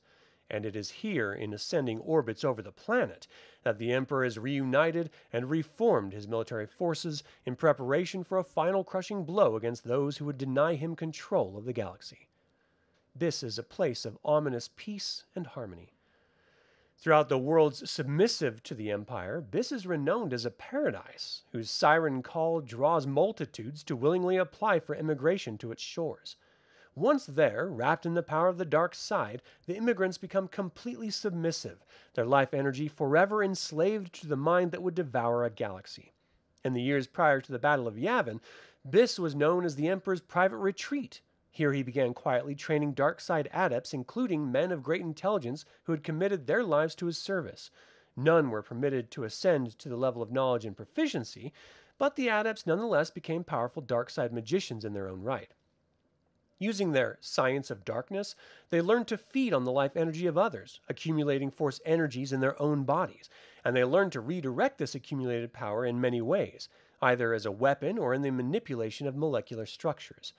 Legends say that adepts of the dark side had even succeeded in spawning living monstrosities, beasts and intelligent entities, some unspeakably ugly, some full of malevolent charm and symmetry, all utterly permeated by the power of the dark side. As we know it, it is to Biss that Luke Skywalker was transported, aboard a dungeon ship, after he uncovered clues to the Emperor's continued existence. It is on Biss that Luke has found an ultimate encounter with the man, if so he can be called, whose greatest wish is to extinguish the light of the Jedi Knights forever. It is also on Biss and its surrounding worlds that the Emperor is constructing his newest technological threat, the awesome destructive world devastators. War technology more lethal than the Death Star. Great fires burn in its belly, and everything it eats is transformed into new instruments of doom. Umak Leth Imperial Engineer. With these words, the principal designer of the World Devastator introduced his concept of a factory ship that could smash a city and recycle everything it destroyed.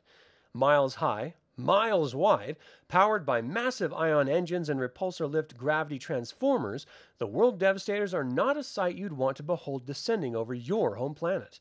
Their voracious maws hold raging molecular furnaces powered by microscopic black holes.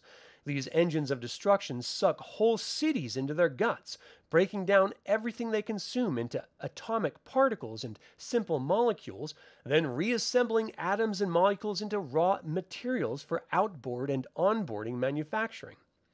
The core of each devastator is materials processing blast furnaces, metal works, foundries, stamping mills, chemical vats, and testing laboratories. Some materials are warehoused and freighted to specialized industrial plants light years distant. The rest are fed into factory levels, where slave labor and assembly line droids turn out an unending supply of TIE fighters, ground assault vehicles, lasers and ion cannons, stormtrooper gear, sensor drones, probe and weapons droids, small arms, munitions, missiles, computer components, and spare parts. The upper decks house control towers, offices, craft quarters, and recreation, hangar bays, and freight docking. Like the Death Star, every exposed surface of the World Devastator is protected by turbo laser and ion cannons and proton torpedo emplacements. Gun towers and missile launch ports scar and slash the surface of the Devastator like the countenance of a battle hardened warrior. Every manufacturing level has its own defense emplacements and TIE squadron. Shield generators envelop the whole diabolical machine in overlapping protective energy fields. These fields can be selectively lowered or windowed to permit weapons to fire and ships to dock or embark. Finally, to prevent the world devastators from falling into unfriendly hands, their complex computer and guidance systems are regulated from the planet Biss via a single master control signal beamed through hyperspace. This crowning touch would seem to provide maximal protection for the city smashing battle stations, and yet, even as we speak, the Rebel Alliance has activated its galaxy wide network of Bothan spies with a desperate command bring us the code of the master control signal. Bothans, as we know, are an alien race dedicated to the art of spying and willingly donating their services to the Alliance. Before the great Battle of Endor, Mon Mothma spoke of critical data on the second Death Star brought to us by the Bothan spies. Many Bothans died to bring us this information. It was later revealed, however, that the information the Bothans delivered was planted by the Emperor. It is thus an open question whether the Bothans are entirely competent or entirely loyal to the Alliance. Star Wars Dark Empire, Dark Empire number 3. If Skywalker is lost, the Alliance is finished. Mon Mothma and the leaders of the New Republic watch with growing despair as their democratic order crumbles under the savage attacks of the Emperor's reunified and enhanced forces. Suddenly, the truth is clear. Unless the Order of Jedi Knights is reestablished throughout the galaxy, there's very little likelihood that the Alliance will ever succeed in liberating the galaxy from the grip of the dark side. As the last fully realized Jedi Master, Luke Skywalker, is the most important key to the rebirth of the Knights, Luke must be found at all costs. To Nar Shaddaa, a lawless, derelict world. Nar Shaddaa, the smuggler's moon, orbits Nal Hutta, once the principal planets one of the principal planets inhabited by the worm like Hutts, the race of gangsters that fathered the formidable Jabba. Thanks to complex criminal pacts with the Empire, the Hutts have long ruled the galactic smuggling trade. Thus, it followed that numerous smuggler groups worked for the Hutts, working for the Hutts were permitted to establish preserves on the ancient spaceport moon. Chief among these smuggling guilds, as they like to call themselves, are the Corellians, including many of Han Solo's former companions in piracy. There is a continual buzz of traffic between Nal Hutta and its moon and the far flung star systems of the galaxy.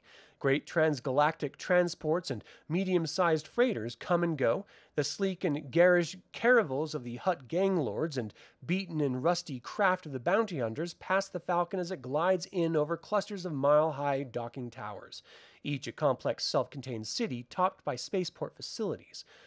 These once noble constructions have surrendered to population and decay, creating the specter of a spaceport moon bathed in gloom and glittering with lights. Down among the Corellian pirates. A great grid inters- interconnects and overlays the upper reaches of these individual megalopolises, a massive decaying complex of docking warehouses and refueling facilities. Each level of the spaceport has landing pads and hangar bays, as well as freight depots and warehouses, not to mention gaudy old thoroughfares that cut horizontally through the whole edifice.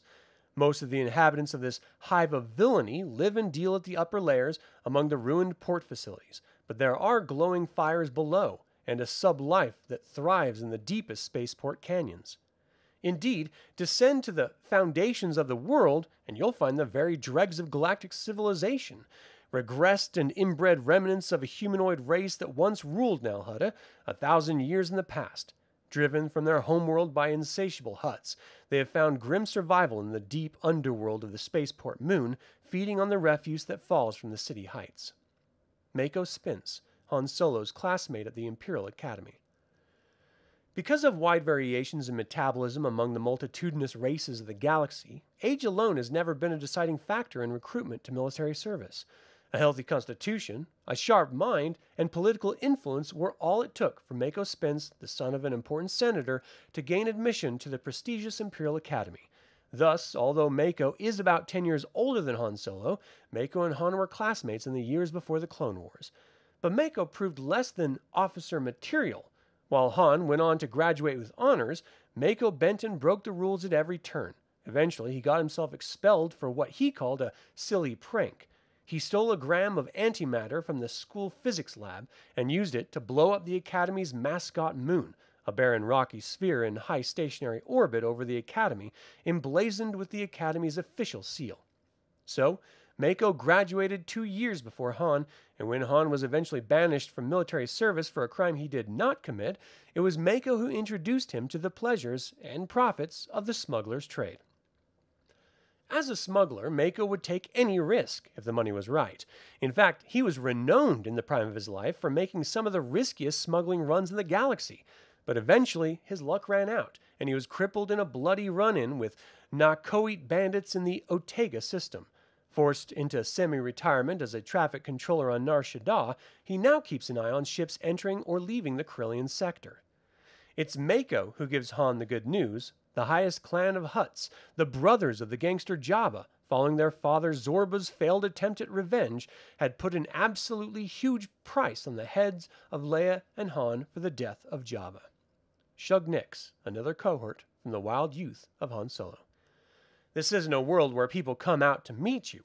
Once you're let through their shields, when they're working, you're on your own. If you're transporting contraband, you will know your warehouse desi- warehouse des- you will know your warehouse destination, and your Confederates will be waiting there. If you're just coming in for a good time, there are many places to berth your ship and many swindlers who will be happy to take your money.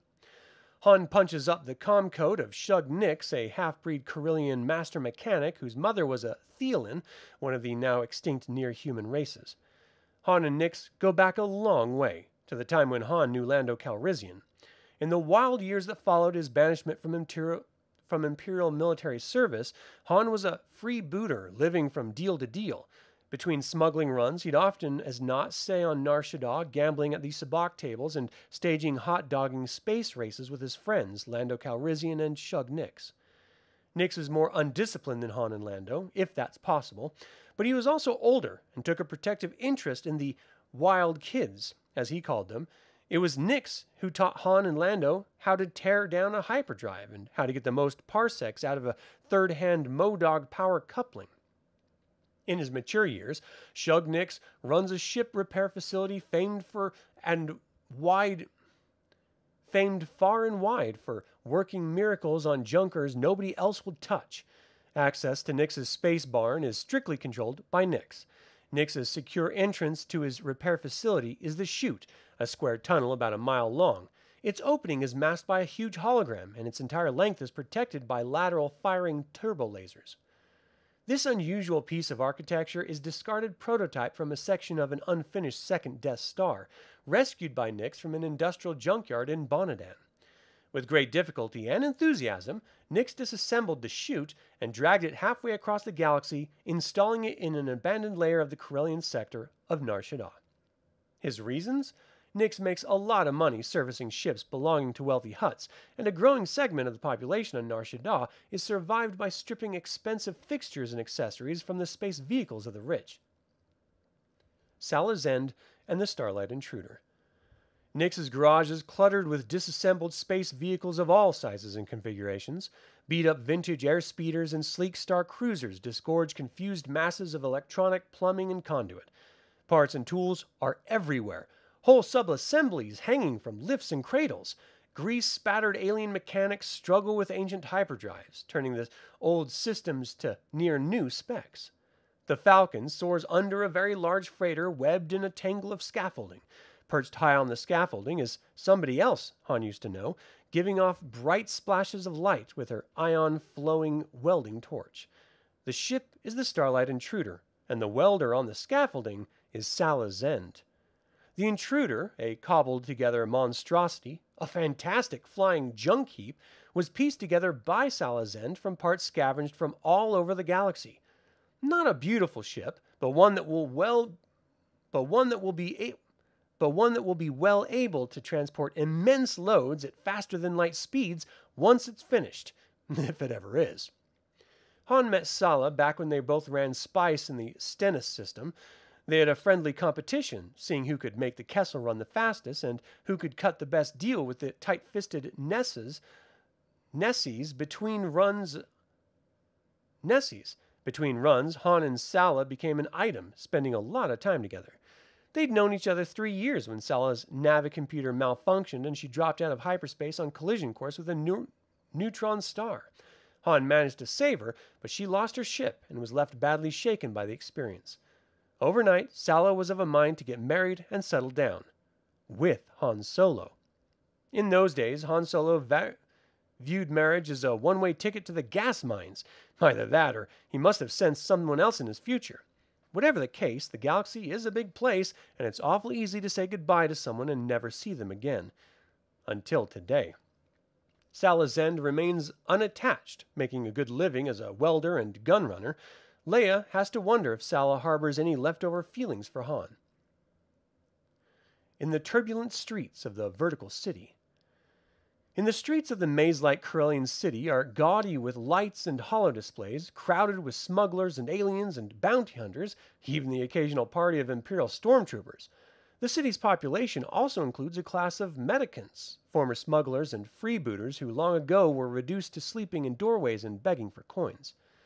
Han and Leia are making their way through the turbulent streets toward Han's old living quarters when they bump into one of these unfortunates, an old woman squatting in the gutter, surrounded by all her belongings. The old woman is Vima-Da-Boda, a 200 year old fallen Jedi. The Fall of a Jedi. For nearly a hundred years, Vima, Vima, Vima-Da-Boda was an illustrious woman warrior, fierce in the cause of justice. During the time she was raised one daughter, during that time she raised one daughter, Neema, who she taught the Jedi path. Unfortunately, her daughter fell in with a group of rebellious young Jedi's who gradually seduced her to the dark side of the Force. Then, further defying her mother's wisdom, Neema betrothed herself to an Autothan warlord, ruler of twelve systems on the far perimeter of the galaxy. When her barbaric husband proceeded to treat her like chattel, Neema, as was her nature, attempted to use the dark side against him and failed. He threw her in chains. Through the force, the poor girl called out to her mother from afar. Vima made haste to the ruling Autothan system, but she was too late. The savage warlord had fed Neema to the rancors that run freely on the Autothan forests. For the first time in her life, Vima gave way to rage. Confronting the warlord, she cleaved him in half with her lightsaber. Then, pondering the death of her only daughter, she gave way to despair. So it was that Vima-Da-Boda began to lose her connection to the Force. Finally came the time of the Great Purge, when the Emperor and his henchman Darth Vader unleashed the extermination of the Jedi. Consumed with fear for her life, Vima further disowned her heroic past and hurled herself down among the lost. As Vima tells Leia, during the time during that dark time, nearly everyone was hunted and nearly everyone was killed, but Vima, impoverished and forgotten, was among the overlooked. As Leia can clearly perceive, the Force is still active in Vima-Da-Boda, but covered by a great shadow. And Vima can see the Force in Leia, Indeed, a great communication takes place between the two women on a level that Han Solo cannot perceive. In the moment of Vima's confession, it is as if the fire of the Jedi, long smoldering in the old woman, leaps forth of its own accord, adding itself to the power already active in the younger Jedi. Without a doubt, Leia Organa has not seen the last of Vima-Da-Boda. Star Wars Dark Empire Number 4 the Jedi Knights were powerful and respected throughout the galaxy for a thousand generations. The technology of lightsabers is almost as old as the Order of Jedi Knights, and the Jedi, as is well known, have served as guardians of peace and justice throughout the galaxy for over 25,000 years. The technology of lightsabers is very old indeed. The Jedi weapon that Leia received from the fallen Jedi Vima-Da-Boda is about 10,000 years old, this lightsaber was given to Vima by her own master, who received it from his master, who didn't say where she obtained it. But in fact, we know that this particular lightsaber surfaced about four, about 800 years ago in an archaeological dig on the planet Ossus in the Adega system. Ossus was an important Jedi stronghold in most ancient times. Some scholars have speculated that the Order of Jedi Knights began on Ossus, but mysteriously, all the cities of Ossus were abandoned and left to decay about 7,000 years ago. Today, Ossus is a mysterious place, a place of ruins, populated by a gentle, primitive folk who may or may not be descended from the original inhabitants. Were the lightsabers of old any different than the lightsabers of today? Such an old light sword is not a worthy weapon for you. According to the Galactic Encyclopedia, when a Jedi lightsaber is activated, a charge of pure energy flows from a power cell through a series of series of jewels that focus the energy into a tight parallel beam. The beam passes through a lens at the center of the handle, extends into space, and then arcs back along itself to a high energy flux aperture mounted in the saber's handguard. The length of the beam is directly proportional to its energy level. Each saber beam has a unique frequency which determines the feel of the blade and how it handles when cutting or when contacting another blade. The frequency also determines the blade's color and sound. The oldest sabers use jewels formed by natural processes, but the Jedi can forge synthetic jewels with a small furnace, a few basic elements, and the power of the Force. The lightsabers continued to evolve, at least until the time of the Emperor, at least until the time of the Empire, the most sophisticated weapons use miniature molecular power cells and superconducting circuits. The energy efficiency of the modern lightsaber is very close to 100%. In most ancient times, when the lightsaber was invented, warriors did not possess the sophisticated technology of today. The very earliest lightsabers were based on the discovery of natural crystals that spontaneously emit powerful bursts of light and energy at their resonant frequencies. It was the Jedi who discovered these crystals and learned to harness their power using more common jeweled stones to direct the raw energy bursts in a coherent beam. The crystals were found in only one place, the Adega system. The ancient Jedi were powerful, but they were supplanted by the dark side. This is something almost magical. There is something almost magical about the old Jedi weapons. To hold one in your hands is to commune with a time when the light of the Force burned very, very brightly in the hearts of the Jedi. This was a time when the dark side of the Force was but an insubstantial shadow, utterly ineffective against the powers of the Jedi Knights. How things have changed in eons since! Today, the glories of freedom and the light of justice are nearly forgotten everywhere in the galaxy. The dark side has grown powerful, the old ways are fading, and the Jedi are almost extinct. And yet the Jedi have a saying In a time of greatest adversity, the great Jedi will be born. So it is that a man, Luke Skywalker, heir to a 25,000 year old tradition, has found the courage to challenge the dark side on its own ground. Luke has made this dangerous choice to learn the secrets of the dark side. For this Jedi, it was the only way. The Emperor's Darkest Secrets. Satisfied that his young apprentice had crossed the threshold from which there is no returning, the Empire the Emperor unveils his teaching, and Luke is given the knowledge that was bestowed on his father before him. Dark side wisdom is strangely practical, crude, and even uninspired. Its entire purpose is the perfection of the will and the expansion of personal power. It is a knowledge that can be terribly seductive because of the ease with which specific powers and abilities are attained. The true Jedi Knight knows powers that the true Jedi know that powers that come easily are only the beginning of understanding. A Jedi is warned not to cling to these powers and to move on to the more difficult levels of training. Those who are seduced by the dark side know only that their individual will has been enhanced. All that is required for them is a sensitivity to the energies of the Force and an act of surrendering to the path of anger and violence, regardless of the consequences to others. The Emperor has become a master of the dark will and its abilities. He is even writing a dark side compendium that he claims will eventually fill several hundred volumes. In this compendium, the Emperor has so far defined two principal empires of dark side lore. The Emperor's first book, the Book of Anger, is about the initial surrender to the dark side and the exercise of the will over the energies of the Force for destructive ends. His second book, The Weakness of Inferiors, teaches in great detail about the psychology and politics of power. A third book, still in manuscript, is called The Creation of Monsters. The Book of Anger.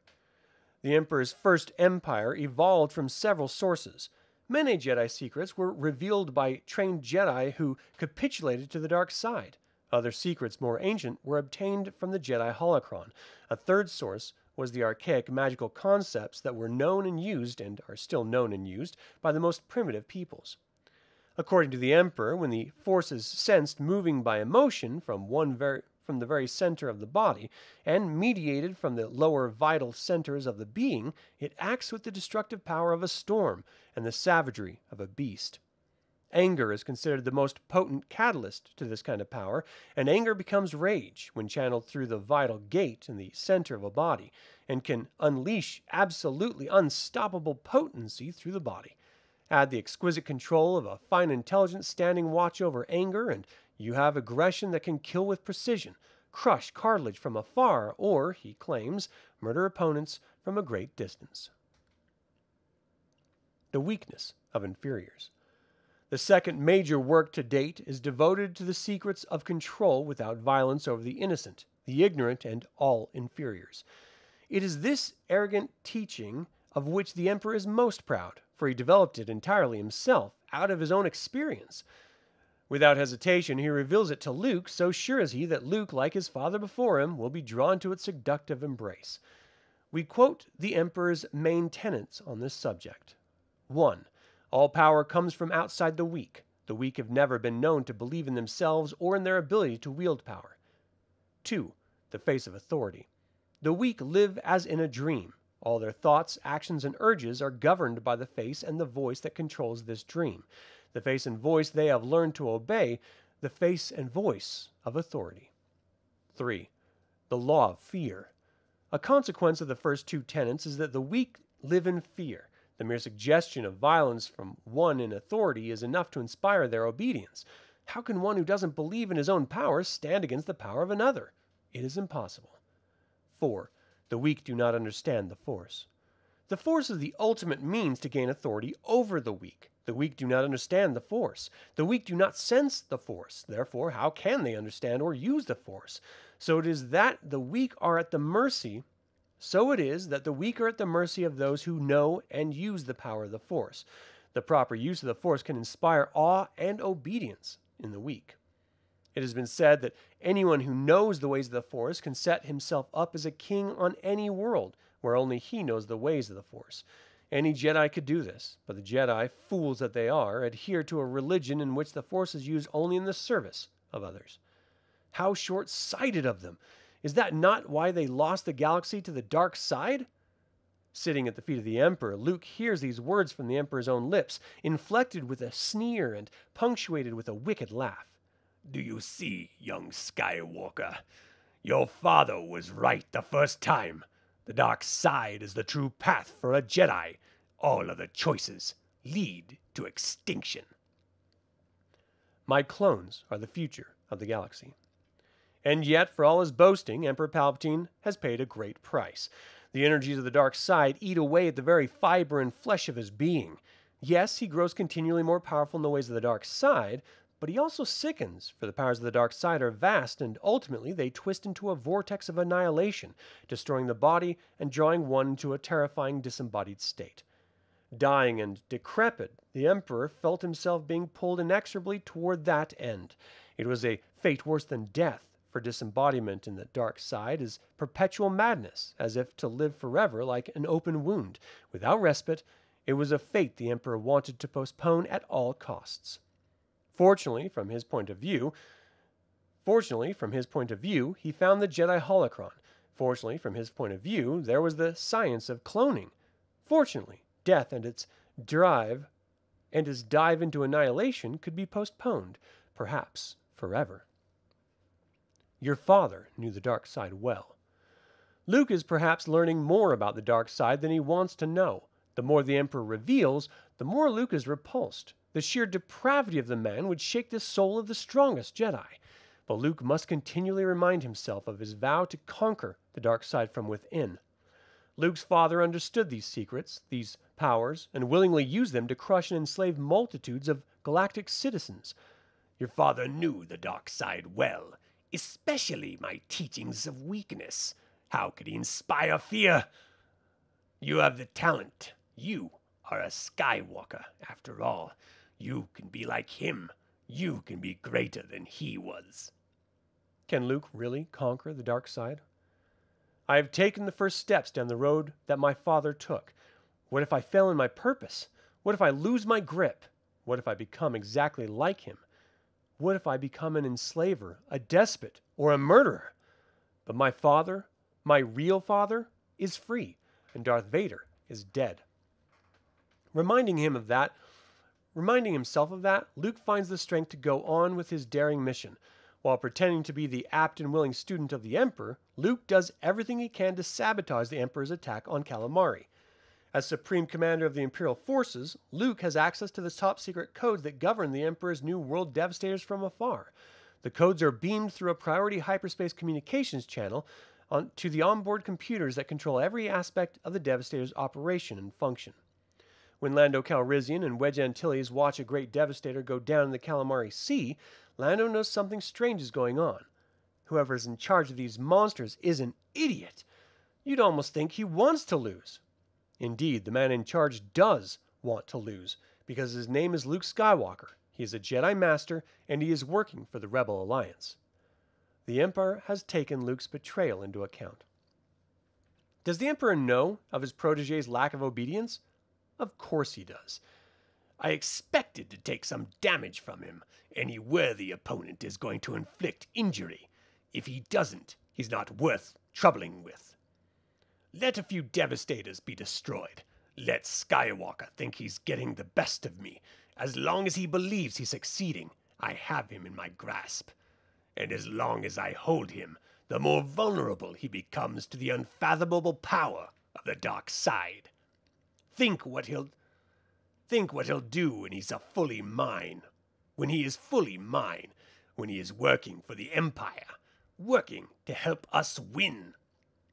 Conferring with the most trusted officers, the Emperor counters every move that Luke makes. Quietly, the Emperor cuts his losses and maximizes wins over his opponent. One day soon, Skywalker will wake up and find that he can no longer go back to his friends. He will look in a mirror and he will see his true face the face of power, the face of the dark side. Star Wars Dark Empire number 5 the Jedi Holocron is a legendary wisdom source lost for over 300 years. With Princess Leia in his evil grasp, the Emperor can't resist showing off his most prized possession, the ancient artifact called the Jedi Holocron. The holocron, a glowing cube that sits comfortably in the palm of his hand, combines crystalline formations and hardware. Its metal parts are embossed with curious designs suggesting great antiquity. As the Emperor himself explains, Jedi teachings were recorded in its internals many centuries ago using primitive hologram technology. Leia recalls that Obi Wan Kenobi once described the holocron to Luke. Ben told Luke that the holocron was a lost wisdom source containing some of the most secret Jedi history and teachings as revealed by long departed Jedi Masters. As Ben put it, the teachings of the holocron include thousand year old secrets, but they also but they also include the words and faces of men in the process of discovery. The Jedi Masters of old were not afraid to let their minds roam freely, for they were hungry for even greater understanding of the mysteries of the mysterious force which has become their power and their ally. Ben said that if the holocron if the holocron could ever be found, it would help re-establish the Jedi Knights. What Obi-Wan didn't know was that during the time of extermination of the Jedi, the Emperor had discovered the holocron among the belongings of a very old and very wise Jedi named Ashka Boda. Ashka Boda was murdered, and the ancient object passed into the possession of the dark side. This was unfortunate because, to a certain extent, the knowledge hidden in the holocron can be accessed by anyone. The Emperor learned considerable arcane information from the holocron, and he exploited this knowledge, twisting it to his own ends. Some of his vaunted dark side secrets are in fact corruptions of teachings in the holocron. But the holocron has many levels and many branching paths concealed within its circuitry. Only a Jedi Knight's only Jedi only a Jedi Knight can unlock these only a Jedi Knight can unlock these hidden places. So it was that the greatest portion of the holocron's wisdom remained sealed away from the Emperor's prying eyes. In the hands of a true Jedi, the holocron becomes an interactive wisdom source. Through the Force, things you will see, other places, other thoughts, the future, the past, old friends, long gone. Master Yoda. On the most superficial level, Jedi Holocron is, as Palpatine suggests, merely a recording device, an example of primitive hologram technology. It is a vast library in a small container, a collection of books whose authors visit the reader and speak to them directly but a pattern of organic crystals at the heart of the holocron reacts to the presence of a true Jedi. These crystals are the key to the deeper levels of the holocron's mysteries. As Leia makes contact with the chain of teachers whose words and images are recorded in the holocron, the first to appear is the holocron is the holocron gatekeeper Bodo Baas. Without ever being questioned by Leia, the shimmering image of Bodo Baas speaks of what most concerns her. Jedi, Hear the words of Bodo Baas. Some among us have thought to conquer the dark side by learning its secrets. Three, to my knowledge, three have tried this, perished, every one of them perished. The long departed Jedi words have the ring of terrible prophecy, for Luke Skywalker is at this very moment attempting to penetrate the power of the dark side. Leia now understands that Luke is not the first to believe the dark side can be conquered from within. Others have tried and failed. The stories of the other Jedi Knights who set out to learn the secrets of the dark side are contained in the holocron. As the Millennium Falcon, safely away from Biss, journeys to the battle zone at Calamari, Leia retires in privacy to hold the holocron in her hands and ask Master Bodo Baas to tell her more. Bodo Baas obliges his new student by relating the tale of Ulic Qel-Droma. The Coming of the Krath. Four thousand years ago, the Jedi were numerous and powerful throughout the galaxy, but it was also a time when thousands of force sensitive individuals, including many who had the potential to become Jedi Knights, were succumbing to the dark side's fascination.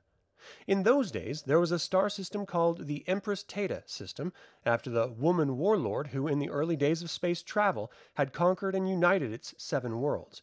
As the millennia passed, the Teta system, which is situated in the deep galactic core, had become the prime source of carbonite, a volatile metal that proved indispensable in the manufacture of faster than light engines, and secondarily, the suspended preservation of living flesh. The descendants of Empress Teta were still the figurehead rulers of seven mining worlds, but they had been forced to share their power, to a large degree, with the commercial interests that had developed the carbonite mines. Together, the Teta royalty and the wealthy mine owners formed an elite society, a tightly knit group that reigned with arrogant abandon over multitudes of the less fortunate. The sons and daughters of this elite were a self indulgent lot, with much leisure time in their hands. As many as a way of amusing themselves, these young aristocrats began dabbling in the lore of primitive magic. At some point in, at some point in their mischievous experiments, the young Titans crossed an invisible threshold and tapped into a strata of magic that unleashed its malign mental reality with unexpected power. What had started as a game suddenly grew serious and took on a life of its own.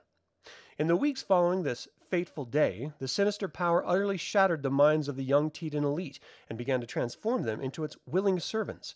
Under the guise of the under the guidance of Satal Keto, the first of their group to fall, the young Titans formed a secret society dedicated to the dark arts.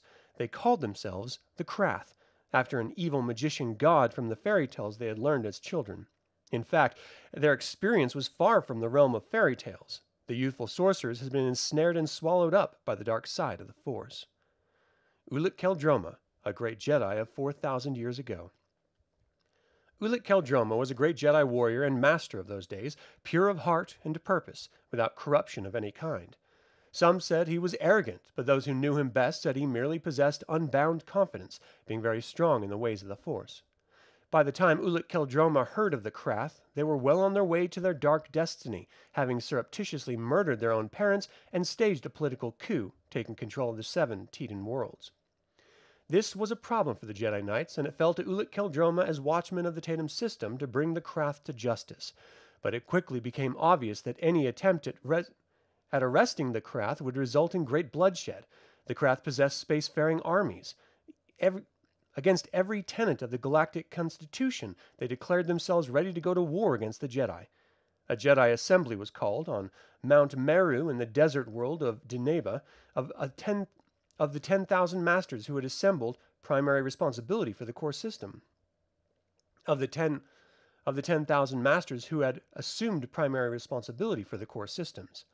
Ulic Qel-Droma argued strongly that war was unnecessary and absolutely the wrong way to deal with the power of the Krath. We are witness to sinister developments.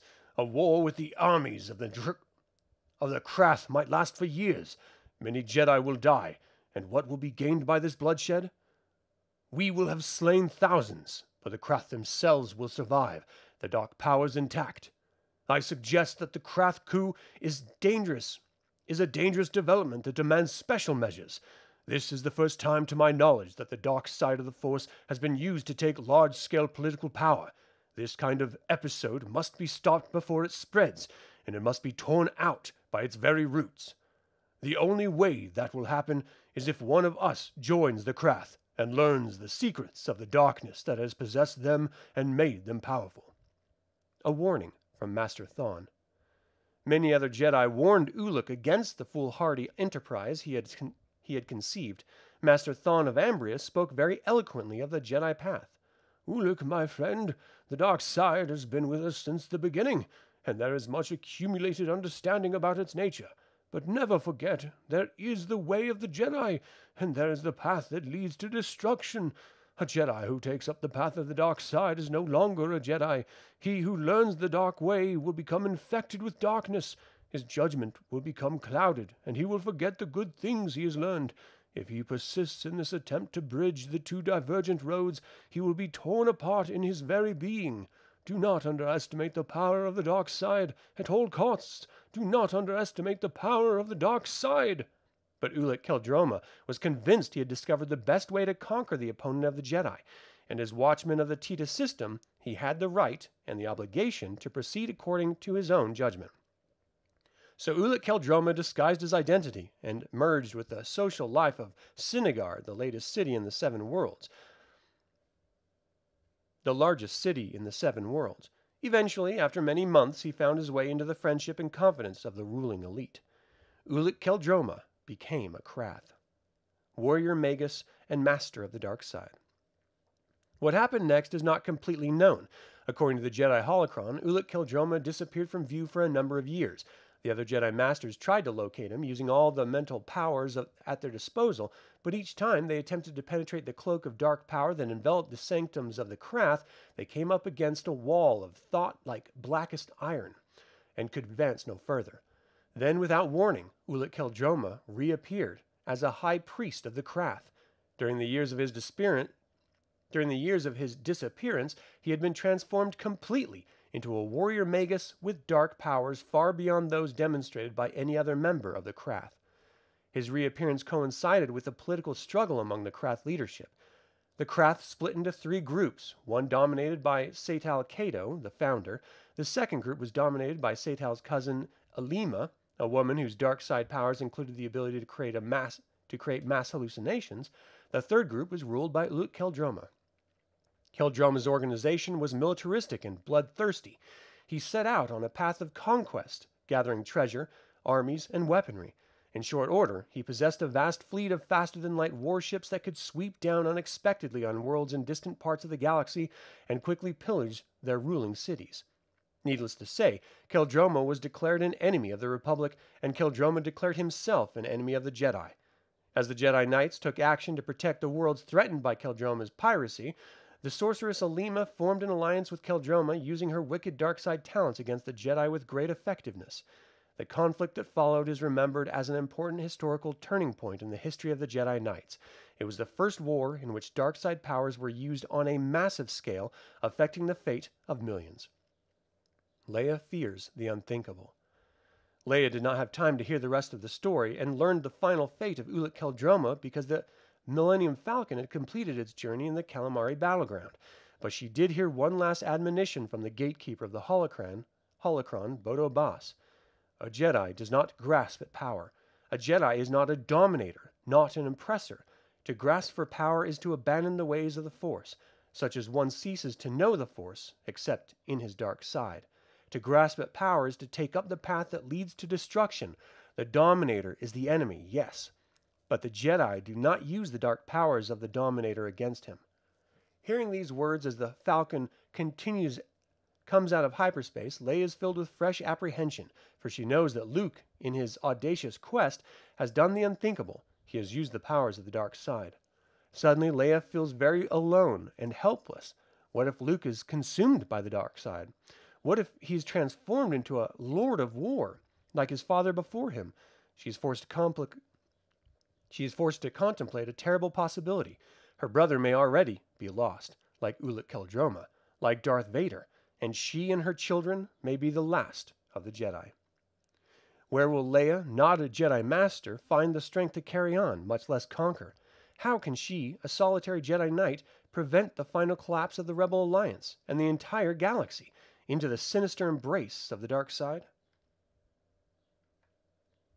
Star Wars Dark Empire number 6.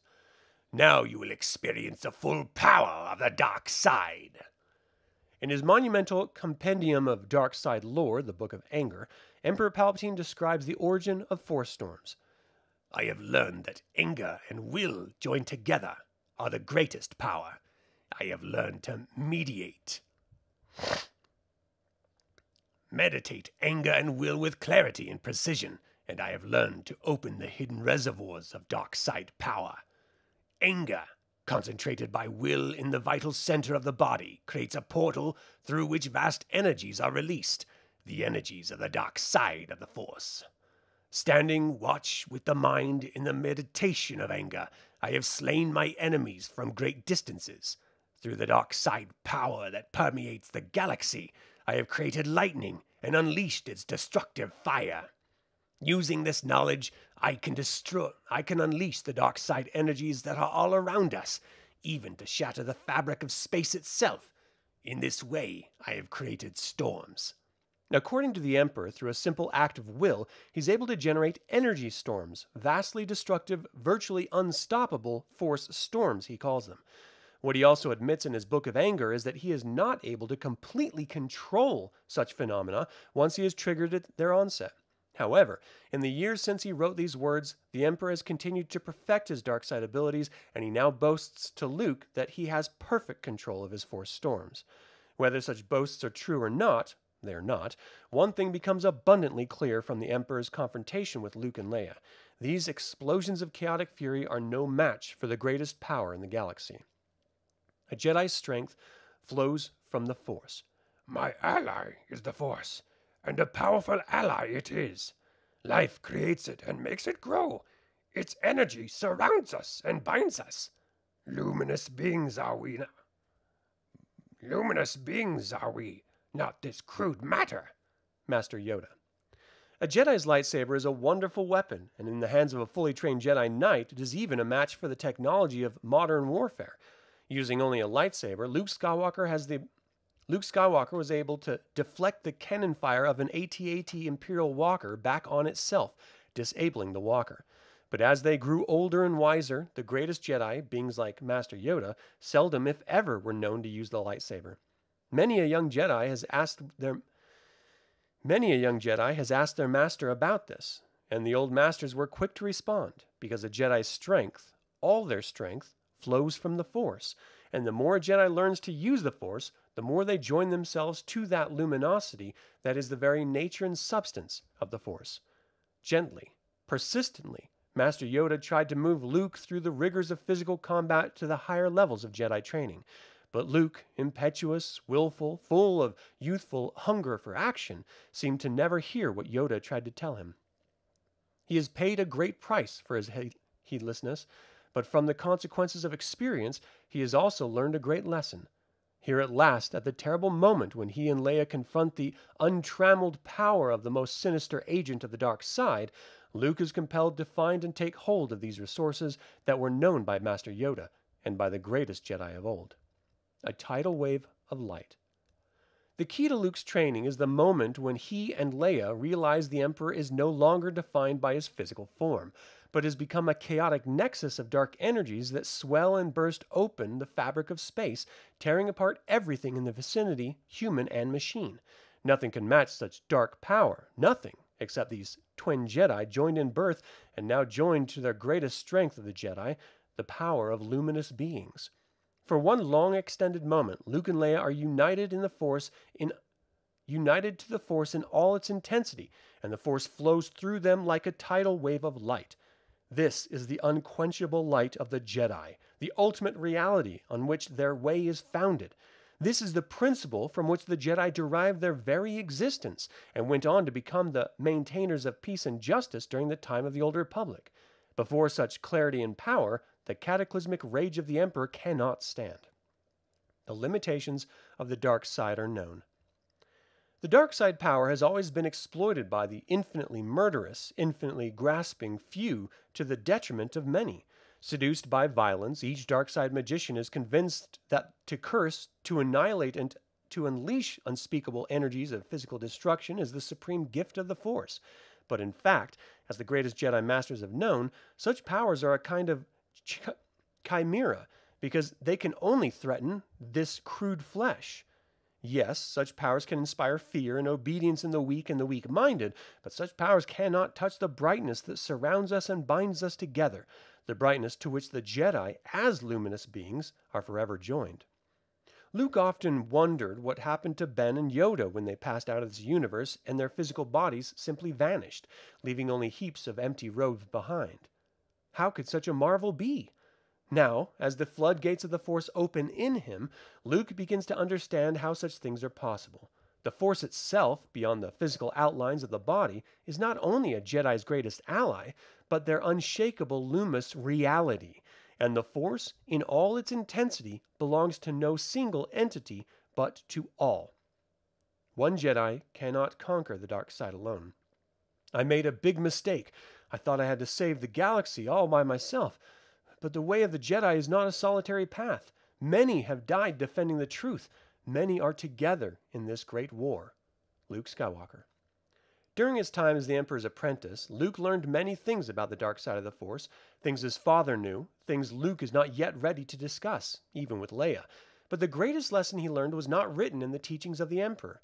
The evil works of the Empire will never be undone until the fire of the Jedi Knights is rekindled throughout the galaxy. Where to begin? There are two Jedi, himself and Leia, and there are Han and Leia's children, all potential Je- Jedi. Leia herself has said that her children will become Jedi and Luke will train them. She knows.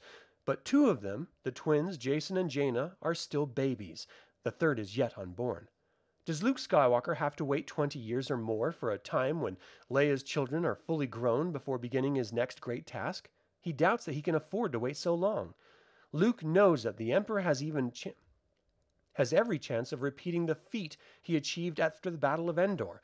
If even one clone vat survives in the laboratories on Biss, the Emperor may even now be making good his threat to live forever. If that is the case, and nobody knows it is not, Palpatine already has put into action a master plan for retaking the galaxy.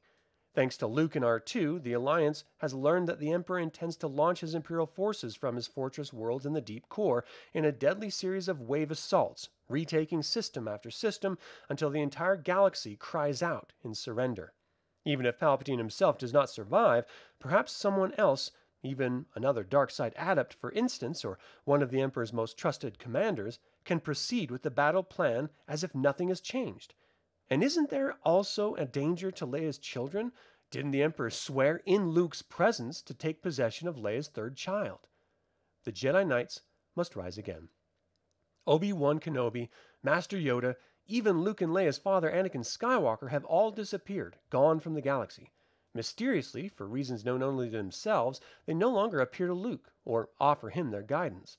And yet, there's a feeling, a sense of hidden nearness, as if they are watching him, sometimes frowning, sometimes nodding their heads.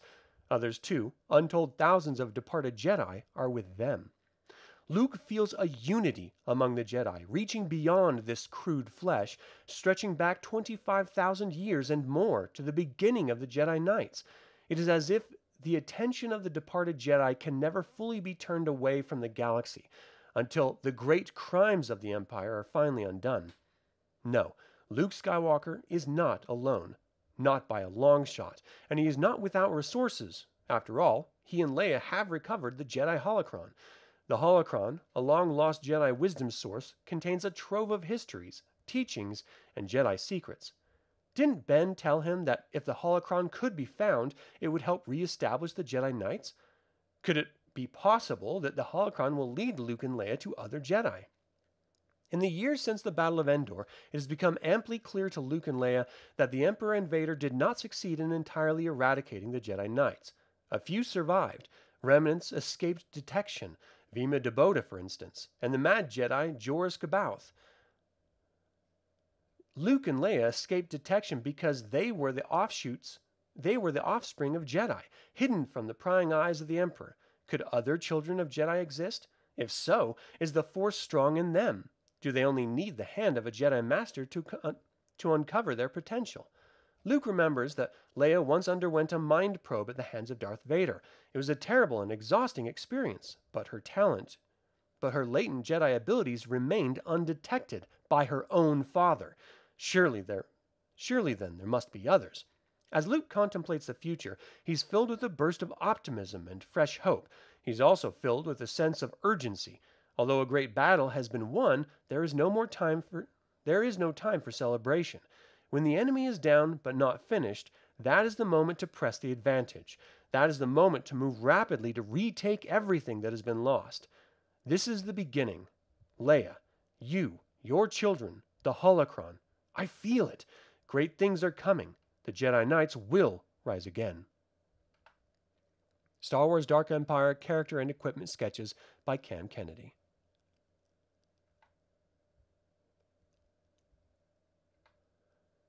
Star Wars Dark Empire, trade paperback, first edition, 1993, cover by Dave Dorson, Dorman. Star Wars Dark Empire, trade paperback, third edition, 2003, cover by Mark Zug. Star Wars Dark Empire, trade paperback, introduction by Kevin J. Anderson. Is the universe big enough for us all, for all of us? The Star Wars films are such visual masterpieces that it seems perfectly appropriate that the stories be extended into a graphic novel format. Following in the footsteps of such an impressive predecessor, however, is a challenge indeed. With Dark Empire, author Tom Veitch and artist Cam Kennedy have brought a level of grandeur, spectacular color, and mind blowing exotica that is sure to capture the same sense of wonder we all felt when watching Star Wars for the first time. For Bantam Books and Lucasfilm Ltd., I myself am writing these Star Wars novels, working with the other authors who are also telling this, sto- this saga that takes place in the years following Return of the Jedi. Dark Empire is a crucial part of our collective imagined epic, but Tom and Cam's story storyline is told with a different palette than mere prose. It is an experience no Star Wars fan will forget.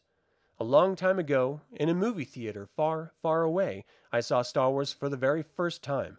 Like so many others, I walked out knowing I had seen something that would forever change science fiction films. Never before, never before had such an ambitious, detailed, and enjoyable science fiction movie been made. Star Wars boiled down everything that was the essence of science fiction for me, capturing the heart of a type of story I'd been reading since the time I could read, since the time I could sim- sound out words on paper, moving my lips to the letters as I shined a flashlight at a book under my blanket long past under my blanket long past the time I was supposed to be asleep. I don't remember how many times I saw Star Wars when it first played, though by no means can I claim to be one of the record holders. I remember waiting and waiting for The Empire Strikes Back and then engaging in endless discussions over which of the two was the better film.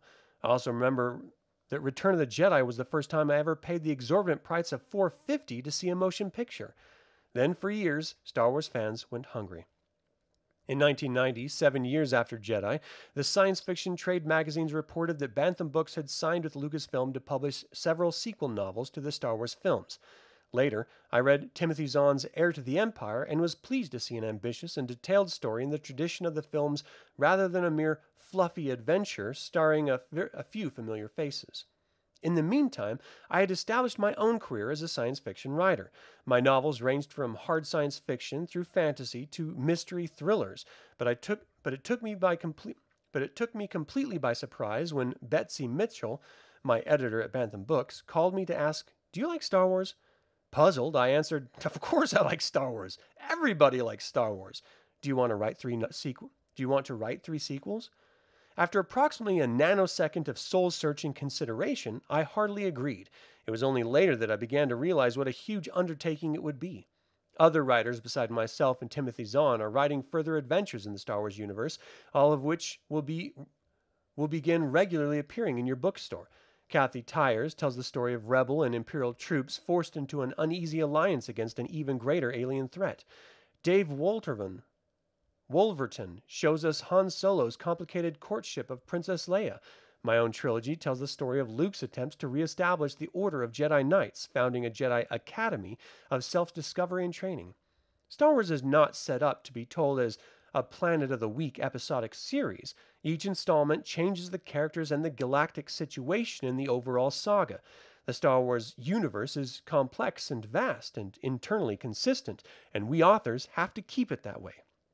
In one of my previous novels with Doug Beason, The Trinity Paradox, about an anti nuke protester traveling back in time to sabotage the first atomic bomb, I did an enormous amount of research on the Manhattan Project in World War II, but the attention to detail in the research I have had to do for these Star Wars novels is incredibly more complex. For months, my office has been plied with scripts, reference books, novelizations, young adult adventures, just about everything that has ever been published about the Star Wars universe, including exhaustive role playing supplements from West End Games. The details established in the films are clear cut and obvious to follow. A bigger problem comes along when we authors need to be consistent with each other. Since we are writing most of these novels concurrently, we have to be fully aware of the other developing stories, even though our novels are set in different time frames. Lucy Wilson at Lucasfilm has been our primary contact and conduit of information, offering her own suggestions and helping to keep the stories unified. She's told us that we don't necessarily have to refer to everything that happens in the other writers' adventures, but we must make certain that we don't contradict anything. Since my novels take place only a year or so after Timothy Zahn's storyline, I got in touch with him to ask how he was going to wrap up his trilogy, what sort of material I was going to be left with, which of his characters were still going to be around, how the situation could change. After getting those details, I went to work plotting one long storyline broken into three volumes. I produced a 30 page proposal and outline that described the Jedi Academy story in great detail, which I mailed off to Bantam and Lucasfilm. Only after did I learn of Tom Veitch and Cam Kennedy's Dark Empire coming out of Dark Horse Comics. Naturally, Dark Empire takes place exactly between Timothy Zahn and my trilogies. I believe my response was something incoherent, or at least unprintable. All of a sudden, I had to factor an entire major story into what I had already plotted. As you read it, you will see that Dark Empire doesn't add minor things either.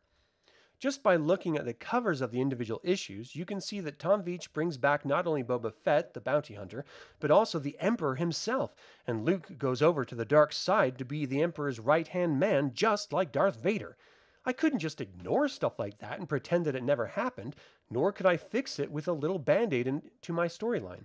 My head started to ache. What was I going to do? I had no choice but to call up this Tom Veitch guy who was causing me so many problems and see how we could resolve this. Imagine my surprise when Tom turned out to be a friendly, fascinating person with a good sense of human, humor and plenty of fresh ideas. That initial telephone conversation, the first of many, lasted over an hour and a half, and we have since swapped number, numerous ideas and suggestions for each other's storylines. We agreed to work backward to set things up for me, and I changed my focus in some places to take off from events in Dark Empire.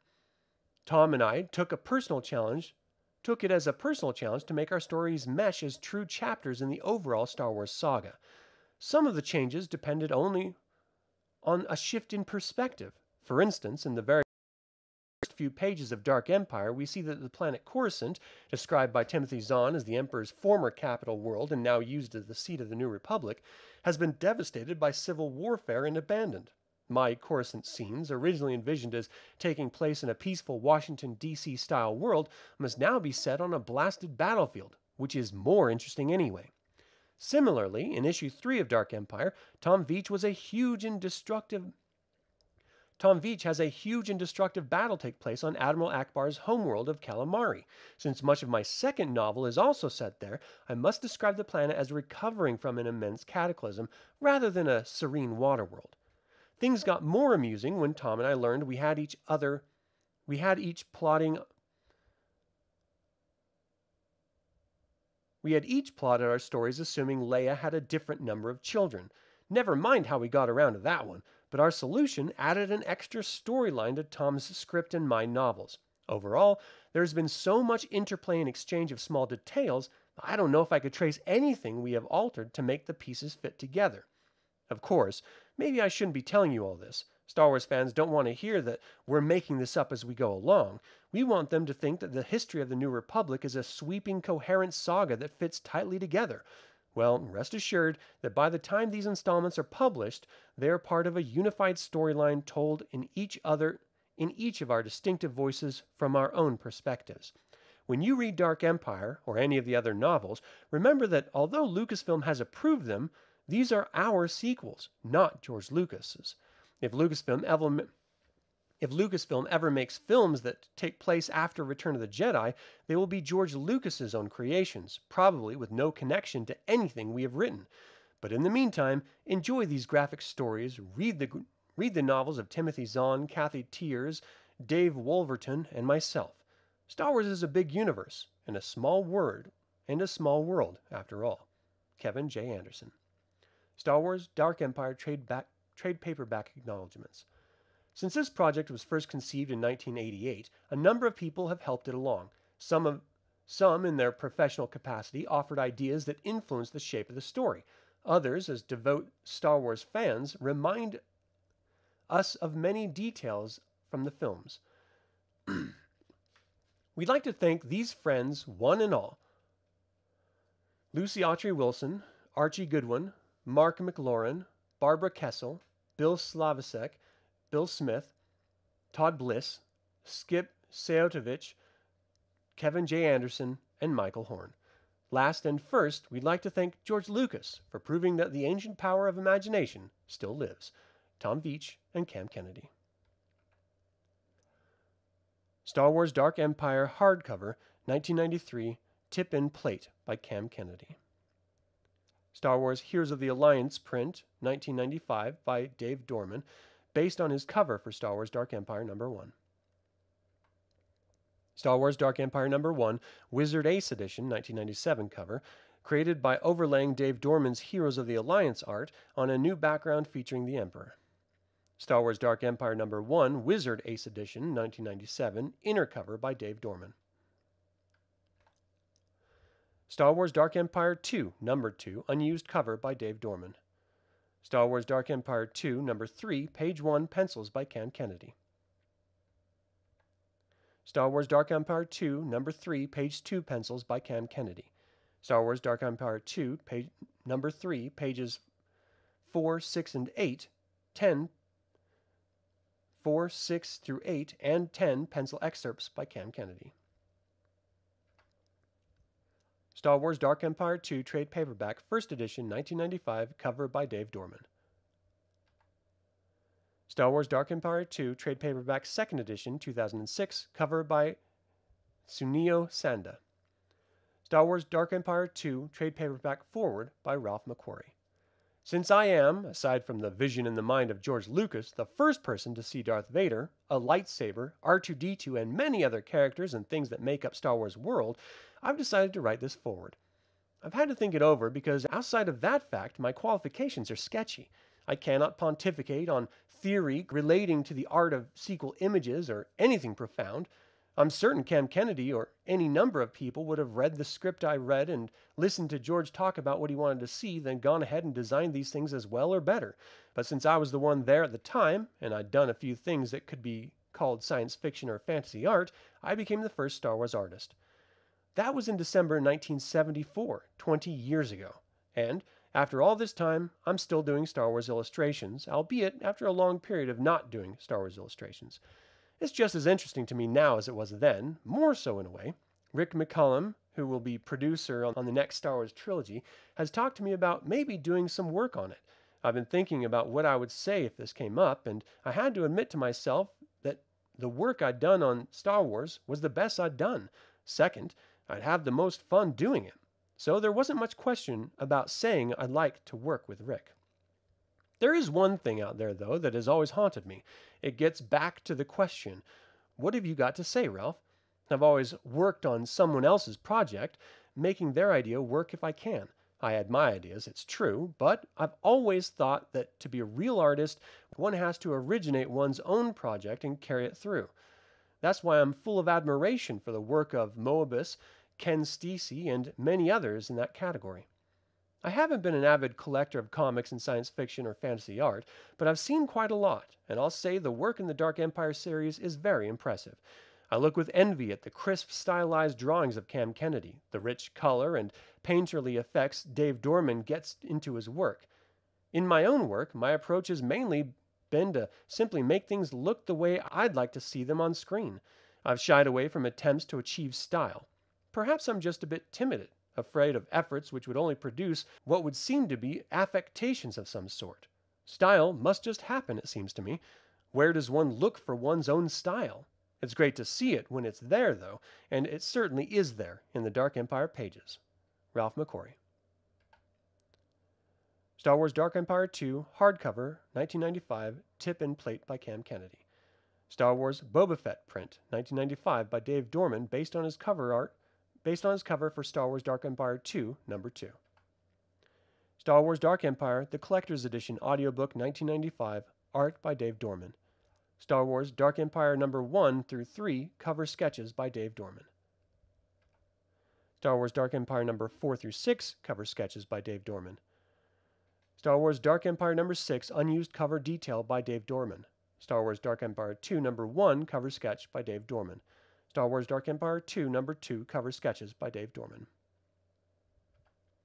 Star Wars Dark Empire number 2, unused cover sketch by Dave Dorman. Star Wars Dark Empire 2, number 3, cover sketch by Dave Dorman. Star Wars Dark Empire 2, number 4 through 5, cover sketches by Dave Dorman. Star Wars Dark Empire 2, number 5, cover sketch by Dave Dorman. Star Wars Dark Empire 2, number 6, unused cover detail by Dave Dorman. Star Wars Empire's End, number 1 through 2, cover sketches by Dave Dorman. Hero Illustration Hero Illustrated, number 26, 1995, cover by Dave Dorman. Star Wars Galaxy Magazine, number 8, 1996, cover by Cam Kennedy. Star Wars The Comic Companion, 2005, cover by Tsuneo Sanda. Thank you all for tuning in. We invite you to like this video, subscribe to this channel, and click the bell to get notified about our next video. Until the Infernal Brotherhood convenes again, my fellow scruffy looking nerf herders, may the Force be with you.